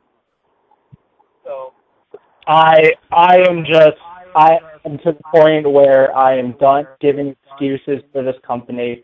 I am done trying to stick up for them and say anything positive. Listen, They have great talent on that roster, but that talent is slowly going away. They're slowly getting out of there. They're jumping off of the Titanic before it sinks. And there's a reason. There's a reason that's happening. Because people are getting sick of what TNA is doing. They're getting sick of not being told that Ring of Honor is going to be on the same network as them. They're sick of not getting their paychecks. It's it, you can't you can't defend this company anymore. You can't. It is They're impossible. sick of Vince Russo being a secret writer for the company and not being told about it. Don't forget about that one. Well, I I know we can be on the show ranting about TNA the whole show, but I got some more important shit to talk about. We're talking about TNA, but TNA superstar Jesse appeared on NXT tapings today. Uh, what does that mean? Now, does that mean he's on Specify NXT? because a lot of people are thinking maybe Jesse Godderz, uh, Jesse Sorensen, the guy that broke his neck on TNA. Yeah, and then when TNA promised that they would pay for his neck surgery and ended up uh, not doing it. Classic TNA there. Hold on, I didn't understand. What would you say, uh, Matt? Maybe people, maybe were people think, maybe people were thinking that you were talking about the BroMans Jesse. So I was just wanted to clarify before there was any confusion. Yeah, but I don't. I wouldn't. I would kind of take this with a grain of salt. It could just be that they needed somebody to go against Baron Corbin, and you know Jesse lives in Florida, so you know he's an experienced wrestler, so they decided to bring him in. Um, I wouldn't look too much into it, but you never know. Yeah, and, and if you watch NXT last night, they're he's going for they're, they're making a the tournament they're turning heel pretty much. They're doing a heel role for him, and his heel role is that he's sick and tired of guys like Finn Balor, Kevin Owens getting in the in NXT. Seems like they did something. Well, he's trying to say, well, these guys made money or barely made money. You know, they made money for you know for hot dog and, and soda, but I was making money. You know, you know, prior to WWE. Pretty much say he's, he's better than all of them. So basically, he- he's not, he's basically he's like saying he's sick and tired of these guys stealing the spot. He's gonna take it from them. So that's his character you- pretty much what it is. Are you guys talking about that bum? Which we don't talk about bums? I don't know who brought him up. Uh, I think Masanda brought him up. Probably saying out there, his new character. He is a guy that looks like they could put him as a world title contender because it, when Owens leaves, who's going to be their top heel there? I don't think they're going to put in um um I don't care. I already said Finn Balor goes here. To be honest, I, I think as much as I hate to get off the NXT topic, I think there's something we have to talk about. A big, big rumor going on for this Sunday's Battleground show. Actually, two big rumors, I should say. The return of the Vigilante Sting and the And Undertaker. the Undertaker? possibly. Well, this is what I'm hearing. There's a lot of shit going on. This talks about Taker could either attack Brock Lesnar for breaking Kane's ankle, or you know him and Sting can have a, you know. I've also heard something even going Seth on. Rollins. I've heard Seth Rollins. Yeah, because I'm hearing all this crazy stuff about the Undertaker. What they're gonna do for the next few months? Like I'm hearing SummerSlam, maybe him and Brock, him and Sting. Um, I'm also hearing possibly Kevin Owens against Undertaker at WrestleMania 32. So I I saw that too. the, the way it looks like to me is possibly they're, they're gonna make Undertaker and Sting at SummerSlam because it seems like they want to book more subscribers. So bringing more, now bringing more subscribers in, you gotta bring in people like you know, or make it seem like you never know who's coming. So if Undertaker come out of Battleground, holy shit, you know? I'm with a Taker Brock match. To be honest with you, I'm with a Taker Brock match. I don't give a I fuck would not want to see that. Why? I would love to. See, I would I, love to I, see. I've seen it. I've seen it enough, and their last match was absolutely it once. fucking dreadful. I would love get- to see Brock, or sorry, Seth Rollins versus the Undertaker. I think that would be I want, fantastic. I want to see that for too. And I Brock Lesnar, Brock, Brock Lesnar and Undertaker doesn't make sense because Brock Lesnar's a face now. and you can't put Undertaker as a heel. Yeah, you can. No, well, you can't. It, it, it only makes sense if it's going to be at WrestleMania because you know Well- he's the one that ends the streak. Taker might want revenge, and that's what that's how I see him. You know, I, I, I thought that's the only way it makes sense for me to have a see an Undertaker Brock match. It has to take place at WrestleMania. It, it doesn't make From- sense to have that match at SummerSlam.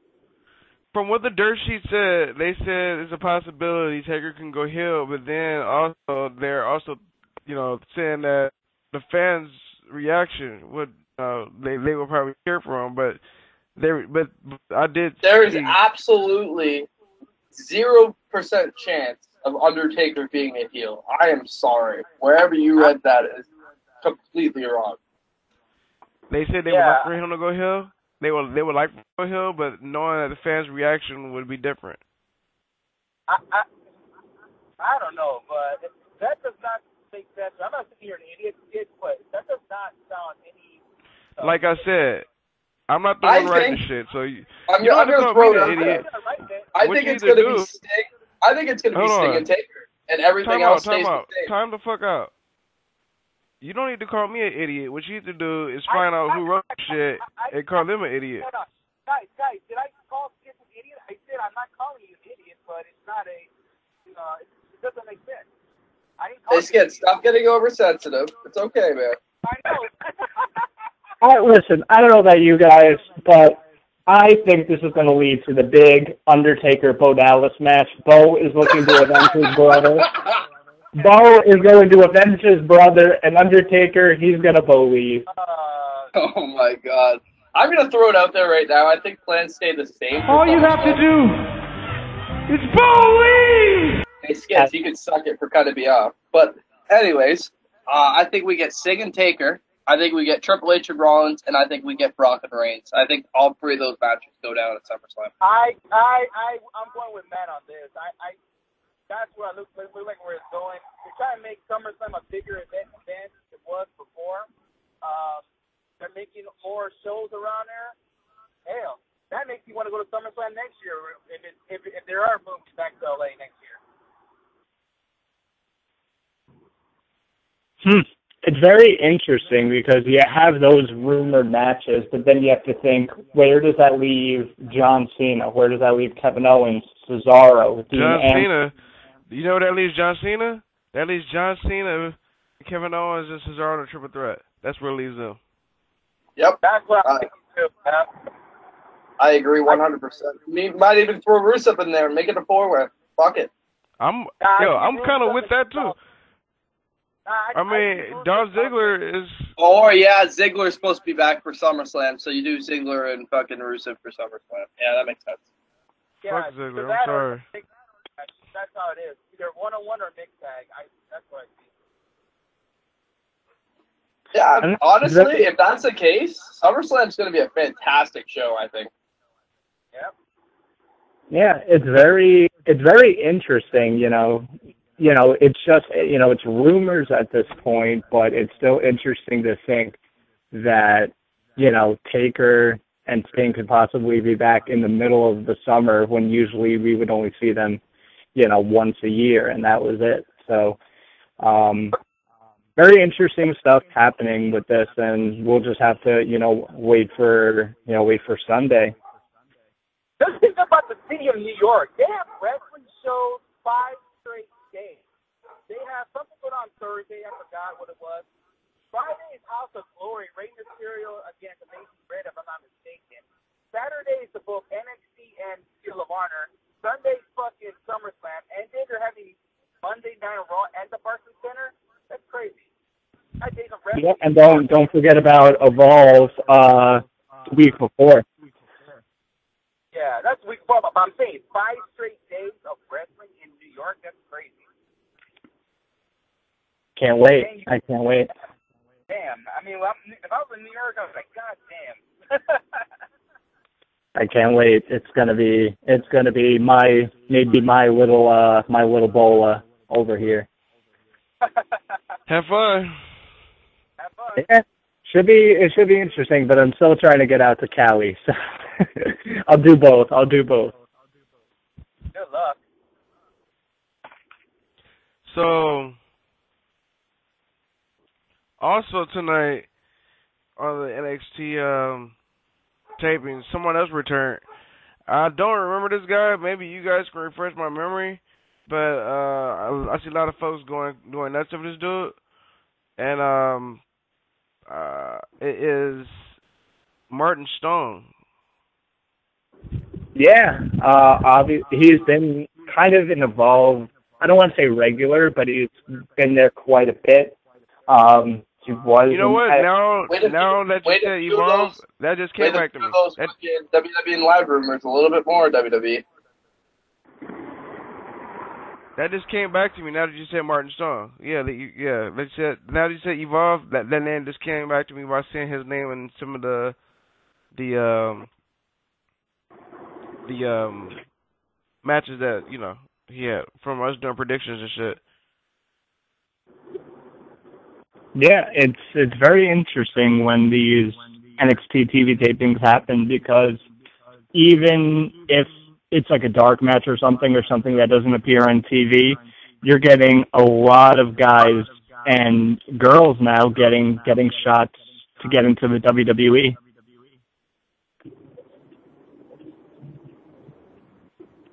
Mm, yeah, yeah, I agree. Um, another weird thing that went down on NXT tonight I noticed was for some reason they decided to bring Charlotte back to NXT again to face against Dana Brooke. Is this necessary? Do we need to have like 10,000 Charlotte farewells from NXT? Does this need to be a thing? Well, she's Well- gonna be at, she's gonna be down there for a while. She's her and Sasha both gonna be at Takeover, so they're gonna be around for a while in NXT. It's not like they're on main roster already. They're basically doing what Kevin Owens did. Yeah, like after takeover, that's it. They're all gone. I mean, whoever they're gonna plant Sasha against for the title, that person's gonna take the title from um, Sasha.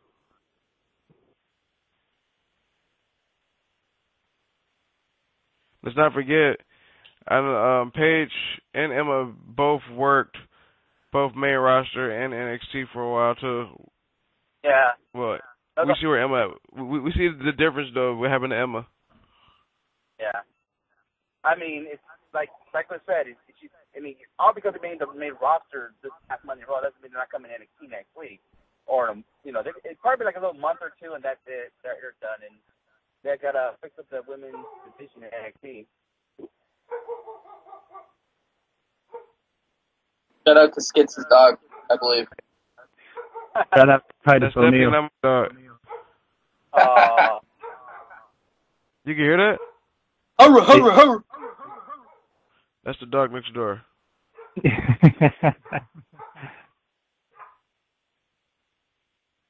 hope ain't that So, uh, uh, guy. I was gonna say, hope it ain't the guy that escaped from the Mexican prison. It'll stop. I hope it's not on your hood.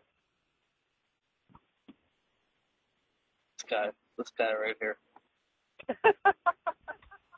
But anyway, oh, gee. Willie Mack's going to Ring Speaking of of- Honor. Yeah, We already covered that. Sorry, bro. I know I'm late, but yeah, and I'm fucking pissed. I'm not gonna see him there. So At least you're admitting it. Skits is like, eh, I don't care. I'll be at another show that night. But come on, any show you're going to that night, and I hate to say it, but even if it's PWG, man, I, I think that Ring of Honor show looks pretty good. yeah, yeah, I know. I mean, I'd rather go to that show than the show we're going on Friday. But oh well. I, I gotta ask you guys, with Austin Aries being back on the independent seed, do we see him in PWG? Who knows? Possibly. It'd be great to see him back in PWG. If anything, maybe in summer in 2016. I don't think right, not right away. Like, what if we see him? Because we've seen in the past where people have showed up unannounced BOLA weekend. Do we see that happen? I don't know. I don't know. I feel like they're not even done announcing matches uh for uh the next PWG show. The like it seems like it's not that many matches announced, so I feel like they're not done. Yeah, I believe there's only like four announced. Yeah. So Yeah, that's definitely something Uh, to note. Since we're talking um independent wrestling, I want to go over House of Hardcore's matches. Some of the matches that are already booked. You got probably the main event: the Young Bucks going against Team Three, aka the Dudley Boys. Uh, that should be crazy and nuts. Two of the best tag teams in the world. And speaking of the Dudley Boys, since we're on the Dudley Boys, uh, I I was going across uh Twitter and uh I clicked the Dudley Boys want to come back to the WWE. Uh, they still want to come back. Uh, you guys' thoughts on that? My my thoughts before we get into that. Did anybody see Bully Ray cal- calling out some dude on Twitter the other night for cussing out Velvet Sky and like inviting him to his school and uh, uh, offered to pay for his flight and all this shit just so he could kick his ass? Nope. what Um, did I- what did the guy didn't, say to Velvet? What did the guy say to Velvet Sky? Uh, something Sure. about sucking dick or something like made a hope and yeah, it just escalated quickly from there. Well, you know, Bully Ray has now gained the prominent role of a TNA general manager, so um yeah, you know, he's got a lot of power now. Hence the sarcasm. This guy literally went out of his way and is sitting there tweeting this dude saying, uh, you know, calling him a bitch and saying Velvet's punking him like a bitch and like giving him the uh, address for the Team 3D Academy so he can email, telling him to man up, or just like making fun of some random kid on Twitter because he made some comment behind the keyboard. I don't, I don't think he should be taking stuff like that so seriously. And it's like I I if what if Bully Ray did that to everybody that said something negative about Velvet Sky, there'd be a lot of people showing up at the Team 3D Academy. All I gotta say for him doing that, Jesus!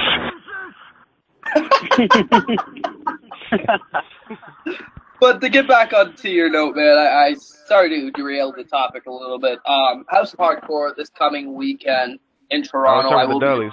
Damn it. yeah, that was you were talking about the Dougleys and Young Bucks, weren't you? No, I said the Dudleys. Uh, they want to return to the WWE. You guys Oh, thought that's why I fuck said it. Fuck that! I've heard it for so long, and they they dropped the ball when Eric Rowan and Luke Harper were doing the 3D. I I don't want to see it now. Yeah, you know what? Um, if anything, I would see maybe appear once in a blue moon, like you see Hogan appear once in a blue moon. Um, I I, I like to see him bring him bring him back if they have a team that they feel high on and they want to feud against a legendary tag team. Then that's it. Might as well give him a fucking legend deal. That's it, and put him in the Hall of Fame. Fuck it.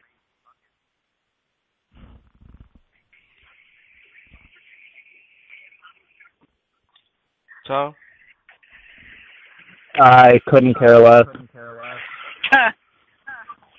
I'm not. I'm not worried. I'm not worried about veterans coming back. I would rather see young talent be utilized. Yeah, I'm with you, man. Uh, Like I said, when they dropped the ball and the whole putting Eric Rowan and Luke Harper over, and you know all the times that they requested on Twitter and trying to get themselves back in WWE by fans support. I don't know. It's just gotten to the point where it seems like they're begging to get back into the company instead of actually being wanted by the fans.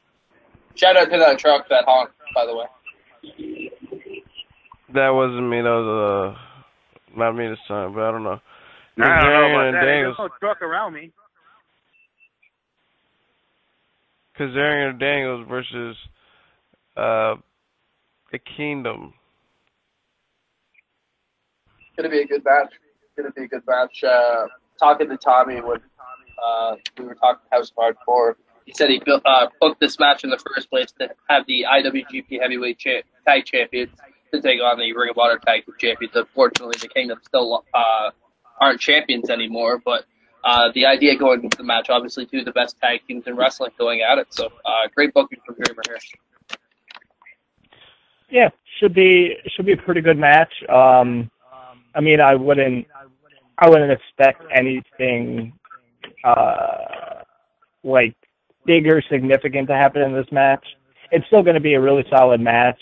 I, you know, I look at it as it's going to be probably like a like a Ring of Honor style match, but there's nothing wrong with that. Yeah, Tony I, I agree with. Go ahead. Okay, sorry, I, get, I agree with Tom. He's gonna be like a Ring of Honor type match. Um, even though it's not in Ring of Honor, it's a House of Hardcore event. But um, yeah, it's gonna be. It's like a. It's like pretty much if you're at a ROH show, you're gonna you're gonna see you're gonna see what you're gonna see out there. Nothing different, you know. It was like some kind of gimmick match. You'll see something different, but oh well, that's that's what it is. That's how it is.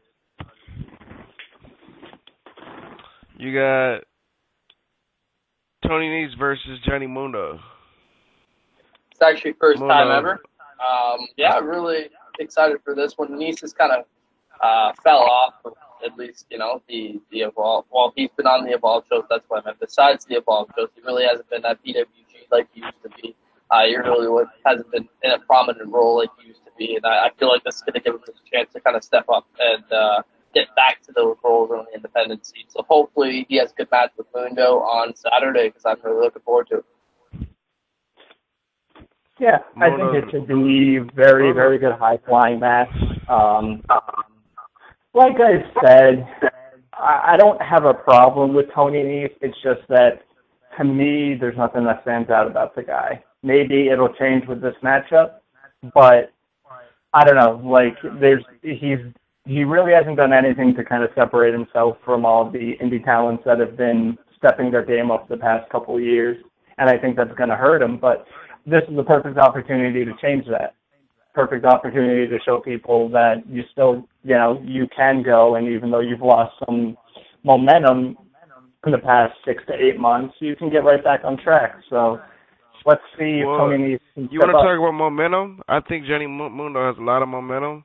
Not just backing him up because of Lucha Underground. I really think he's been putting on great matches. If, when I mean, at first when I used to go to Lucha Underground, I would boo him, but like he just starts up his game up and having good matches. So, uh, uh, I like what I see. That's just me. And uh, No me doubt- and Matt had no a conversation can- last night.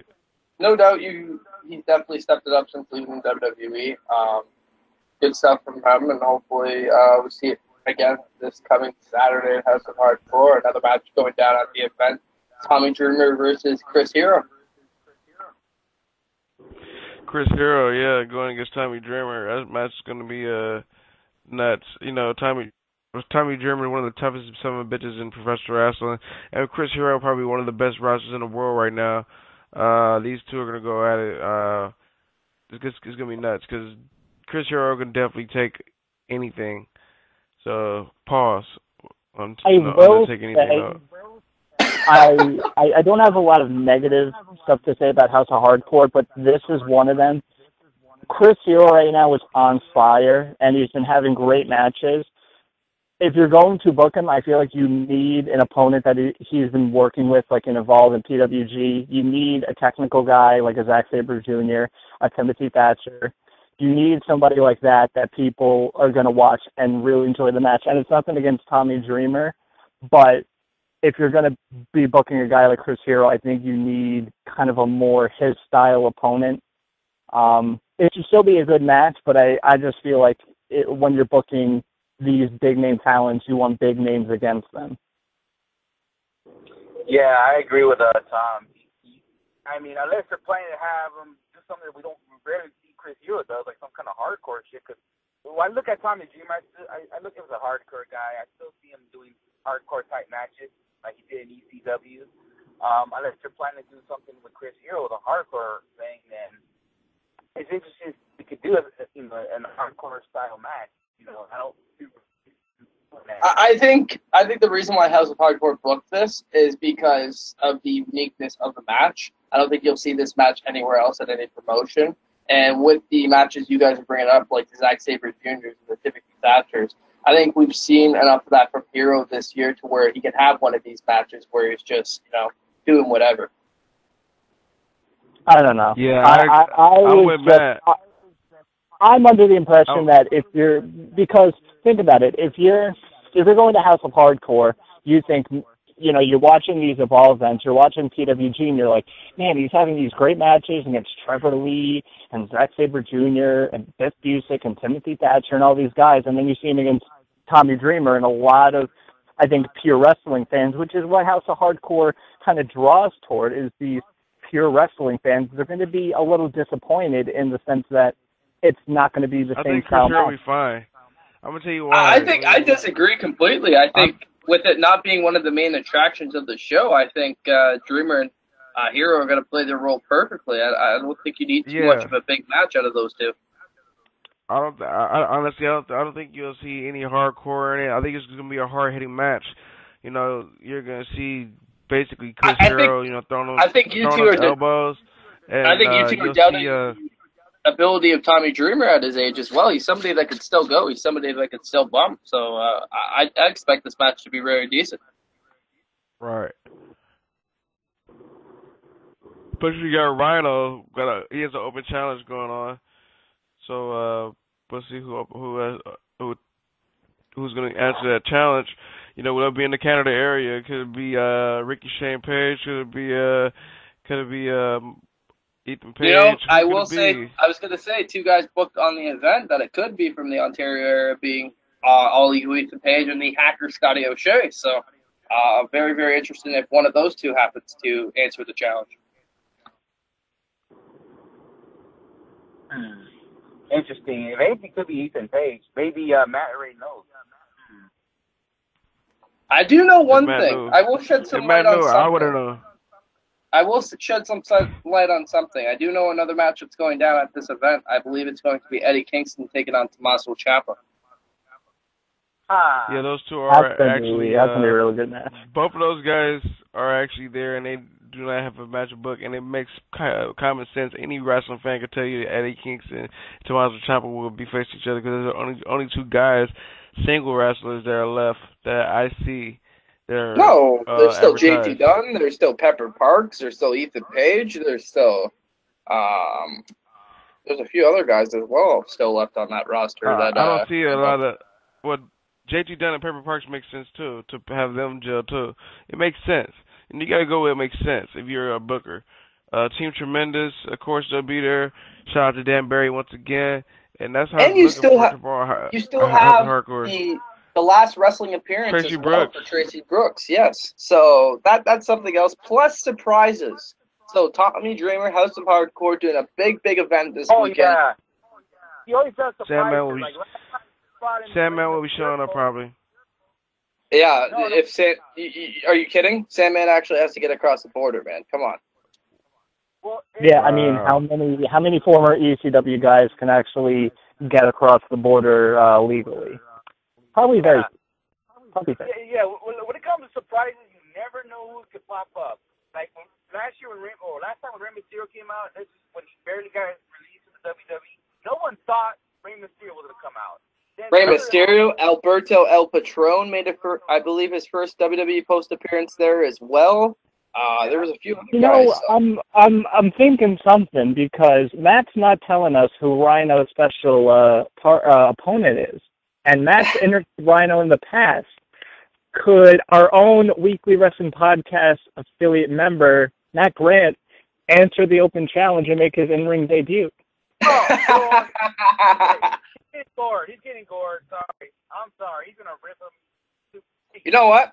I'm gonna put it on record, and I'm gonna say that maybe not answering that open challenge, but I believe A Double Austin Aries will be in the house House of Hardcore on Saturday. I'm calling that one. Yeah, that could be a very possibility. Now that you know he's released from TNA and all that, that could be a very possibility. Yeah, House of Hardcore doing doing great things. Always good shows. I like, like I said, I like what Tommy Dreamer's doing with the shows because you get a good mix of the old school plus the new school going on. It's not just the typical ECW, you know, hardcore reunion shows that has come and failed in the past. Tommy Dreamer, he knows progression, he knows the business. So great stuff from House of Hardcore. Can't wait to see what happens with this event. And just before we go into plugs, I wanted to kind of get into one more topic because it popped up on my feed uh, not too long ago. The final um, page in Daniel Bryan's book. I don't know if anybody's seen this, but it's probably one of the most depressing things I have ever seen in my entire life. I don't know if you guys want me to read it out really quickly, but uh, if it's something you guys want to go check out, uh, I believe it was Death to All Marks who who uh, retweeted it. So definitely recommend checking out that page. It's really, really, really depressing. Go for a reader, bro. I don't All right, let's do, let's do it.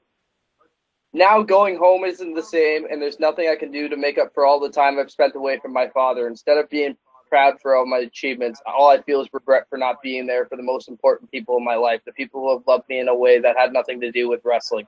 If you were to ask me today if all the reward was worth the sacrifices, I would say no. Yet I keep on because I'm not quite sure what else to do with myself, because stopping now wouldn't give me any more time with my father.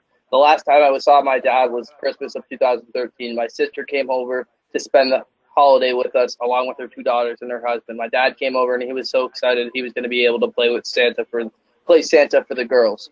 We had a good Christmas dinner, and shortly afterward, my dad went in to get dressed. We were all in the living room where we had a sliding glass door, and all of a sudden we heard bells ringing. My oldest niece ears perked up, and she turned to my sister and said, "Mom, it's Santa." My dad came in on his in his Santa suit, saying "Ho ho ho, Merry Christmas." He played the part really well, and his eyes were beaming as his two granddaughters came to sit on his lap. When he left, we gave each other a big hug, and he told my sister and me how happy that night had made him. I will never forget that night. While I was at the funeral home seeing my father for the final time, one of uh, Darby's daughters gave me a box my dad left for me. When I opened it, it contained a silver bracelet, presumably a gift he got me for the wedding. Inscribed on the front were my initials. As I looked on the back of the bracelet, I started crying even harder. My dad had inscribed, "To the man you become, to the man you become, and the son you'll always be." Heavy, heavy there. I mean, That was tough. you just uh, I, I think especially with what's going on now with with what Tyson Kidd's going through and uh you know we've been kind of talking on and off about it but you know that situation in itself is terrible that the guy is probably not going to wrestle again considering less than 5% of the people that have the same injury don't even survive or either become paralyzed and Tyson Kidd is walking you know the guy is uh, uh, basically a walking miracle, and he's tough as nails. But then you you because we never know what's going on behind the scenes with these guys, what they're thinking, what they're going through. It's it's heavy stuff. Yeah. That was about Daniel Bryan, right? Yeah, that was Daniel Bryan's uh, final page in his book. Uh, really just talking about his father and the relationship he's ever had with him. Yeah. And you know, I mean, it's it, that's very interesting. You know, make me want to like uh, grab the book. You know, maybe uh, read. You know, a little bit about Daniel Bryan's uh, book. The last wrestling book I bought was actually the Shawn Michaels one. So uh, I, I'll look And it it. actually just it just got released too, so I recommend checking it out if you guys get the chance. and I know these things aren't really related, but I, I, I think about that, and then I look at Tough Enough and how most of the competitors in there don't give a shit. They want to be in this business to be something else. And then you have a guy like Daniel Bryan who busted his ass and sacrificed everything and anything to get to where he is today. And it pisses me off when I look at people at Tough Enough who 90% of them don't give a shit. They're just to be in this business to help themselves. It, it pisses me off to no fucking end. Yeah, I mean, if anything, that Patrick guy should win the damn thing. He seems like he really wants to get in there. Even if Hogan said, kind of called him out, he was like, okay, you want to learn from Hogan. So, but Hogan is the man. I mean, without Hulk Hogan, we probably wouldn't do the damn show, to be honest. So, you know, I would like the Patrick guy to win it all. Patrick is like the pure wrestler on Tough Enough. If we're talking about Tough Enough, uh, I know Matt has something against Tough Enough, but they've done a lot of shit uh, this week. This week they uh, were showing uh, people how to pick up people, you know, and drop them basically, and uh, how to do a shoulder uh, uh, bump. So You've heard me uh, say it in the past skits, and I'm just gonna say it again to alliterate it. It's nothing wrong with the show. It's what's gonna happen with the people after they come off the show, and it's gonna be absolutely. Well, I like what Lita up. said. I really like what Lita said about her mentioning um I hope you guys actually, you know, something comes out of out of uh, two of these superstars this year. I mean, with her saying that, basically kind of made me say, I don't know, there's a possibility we might actually have somebody that wins the show actually go to development and learn how to be, you know, learn a little more, maybe become a a a, a, a, excuse me, WWE superstar. So I really think somebody might come out of this one. Like for some reason, Chris Jericho went off on this chick Sarah Lee. Like he really was pissed. Like he was so fucking mad. Like he's like, I'm not fucking laughing. Like, cause the girl's laughing, thinking Chris Jericho was joking. Like, I don't know. I'm I'm definitely feeling tough enough right now. That's just me. Like, uh, it's it's a little different than the one last year, but this tough enough is pretty interesting. Yeah, I hate when guys like ex football players who didn't make it try to be, be in the business, and you know, and they don't know shit about it. You know, I don't know. Like I don't know if how if Baron Corbin was a fan before, or that one dude, uh, squash guy, I, I forgot his name is, um, was a fan before. But I mean, I just see like guys are failed football players. You know, they're they're some is of them, like most most are successful. Yeah, and there there is nothing wrong with being an ex-football player and wanting to get into wrestling because some of the best wrestlers were former football players. Guys like Bruiser Brody, The guys Rock. like Hansen. You know, these The Rock. guys were in football and translated well into wrestling, but they had a passion about it. It's about Boy, it's Brock about how much you want it. It's it's Brock not about Lesnar. trying to elevate your career to But something Skitz else. It's saying- about having passion for pro wrestling. Like Skid to say, Brock Lesnar. There's guys like Roman Reigns, Goldberg. and There's so many more we can name as well. And uh, Don't forget I about agree. the People's Champ. Yep, the People's Champ, Rocky Maivia. yeah. But anyways, um, I think I even are we think almost into the Bradshaw- show? and Farouk. Well, we're having a long Oh, ass show today, shit, because we're all early, shit. Um, this is just one of those shows, like, I think we should go You go really on. want me to uh, load this whole show for a long time on YouTube? I know, well, we all know Oscar uh, wants guy's to go giving on you heat early, over so Yes? he Heat? doesn't like the three Yeah. hours, like, like, uh, like, uh, some other people, but it's cool. Um, I'm gonna start with Mac. You, you have long plugs. Go ahead. Oh, hold on. Yeah. Can, can, I, hey, can, uh, can I start start with a plug for a second? Because I gotta like do something. But let me start off real fast, okay? Um, you guys can follow me at Sinister Six Thirty Two at uh, Twitter and Instagram. Um, now I'm on Periscope. You can follow me on that, and I hopefully you can check out Wrestling Heads. You can follow Wrestling Heads on Periscope as well.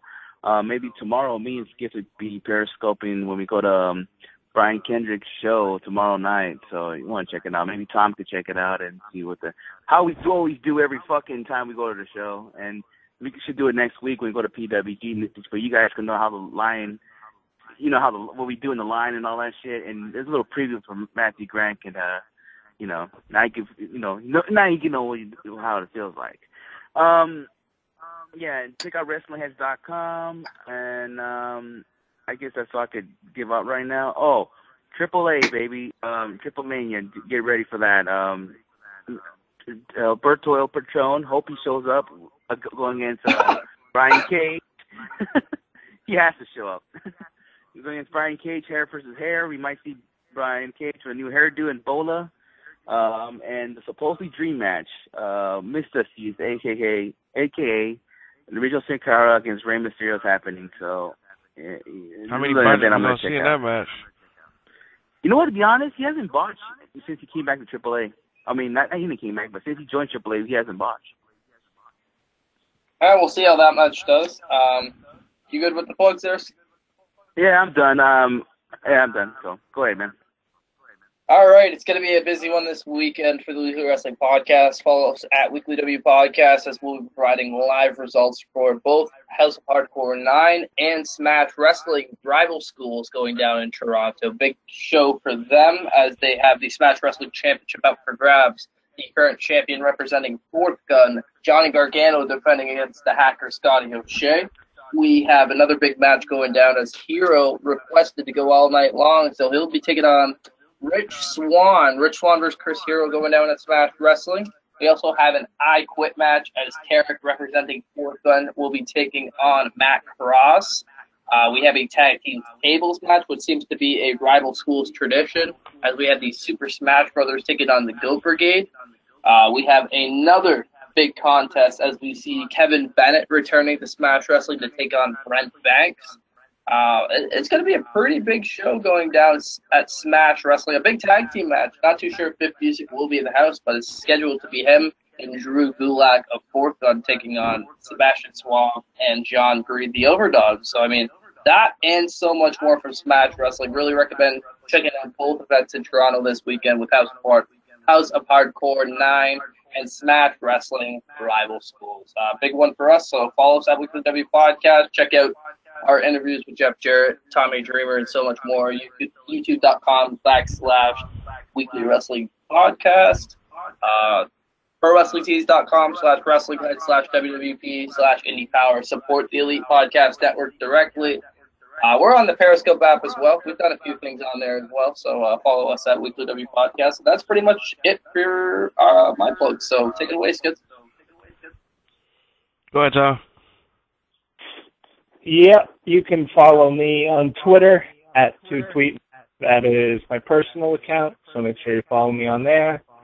Um, everybody else give up the plugs, but make sure you're checking out all the rest of the people here on the Elite Podcast Network.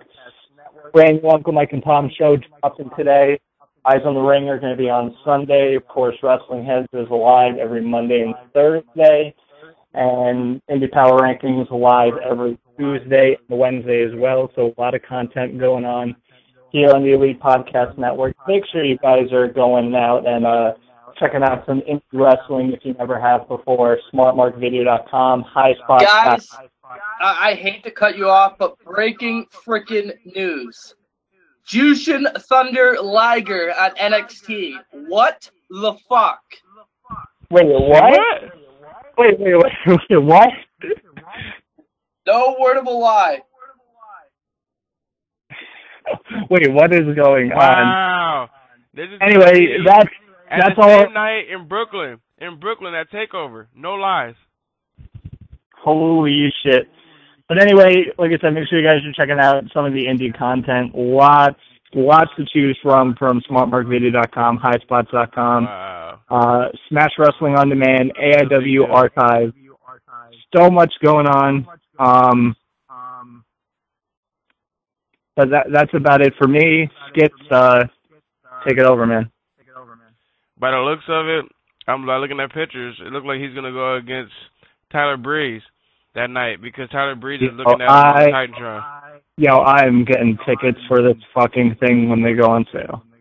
And if we don't see on pictures, we're gonna be pissed. I'm telling you straight up. I'll be pissed. I I'm trying. Like I said, the only thing stopping me is finances, which you know that's I think that's the main reason that stops people from going to wrestling shows. But I'll see, I'll see, and I'm hoping hoping pretty hard to go. But uh, let's I have finish one more thing before we go off air.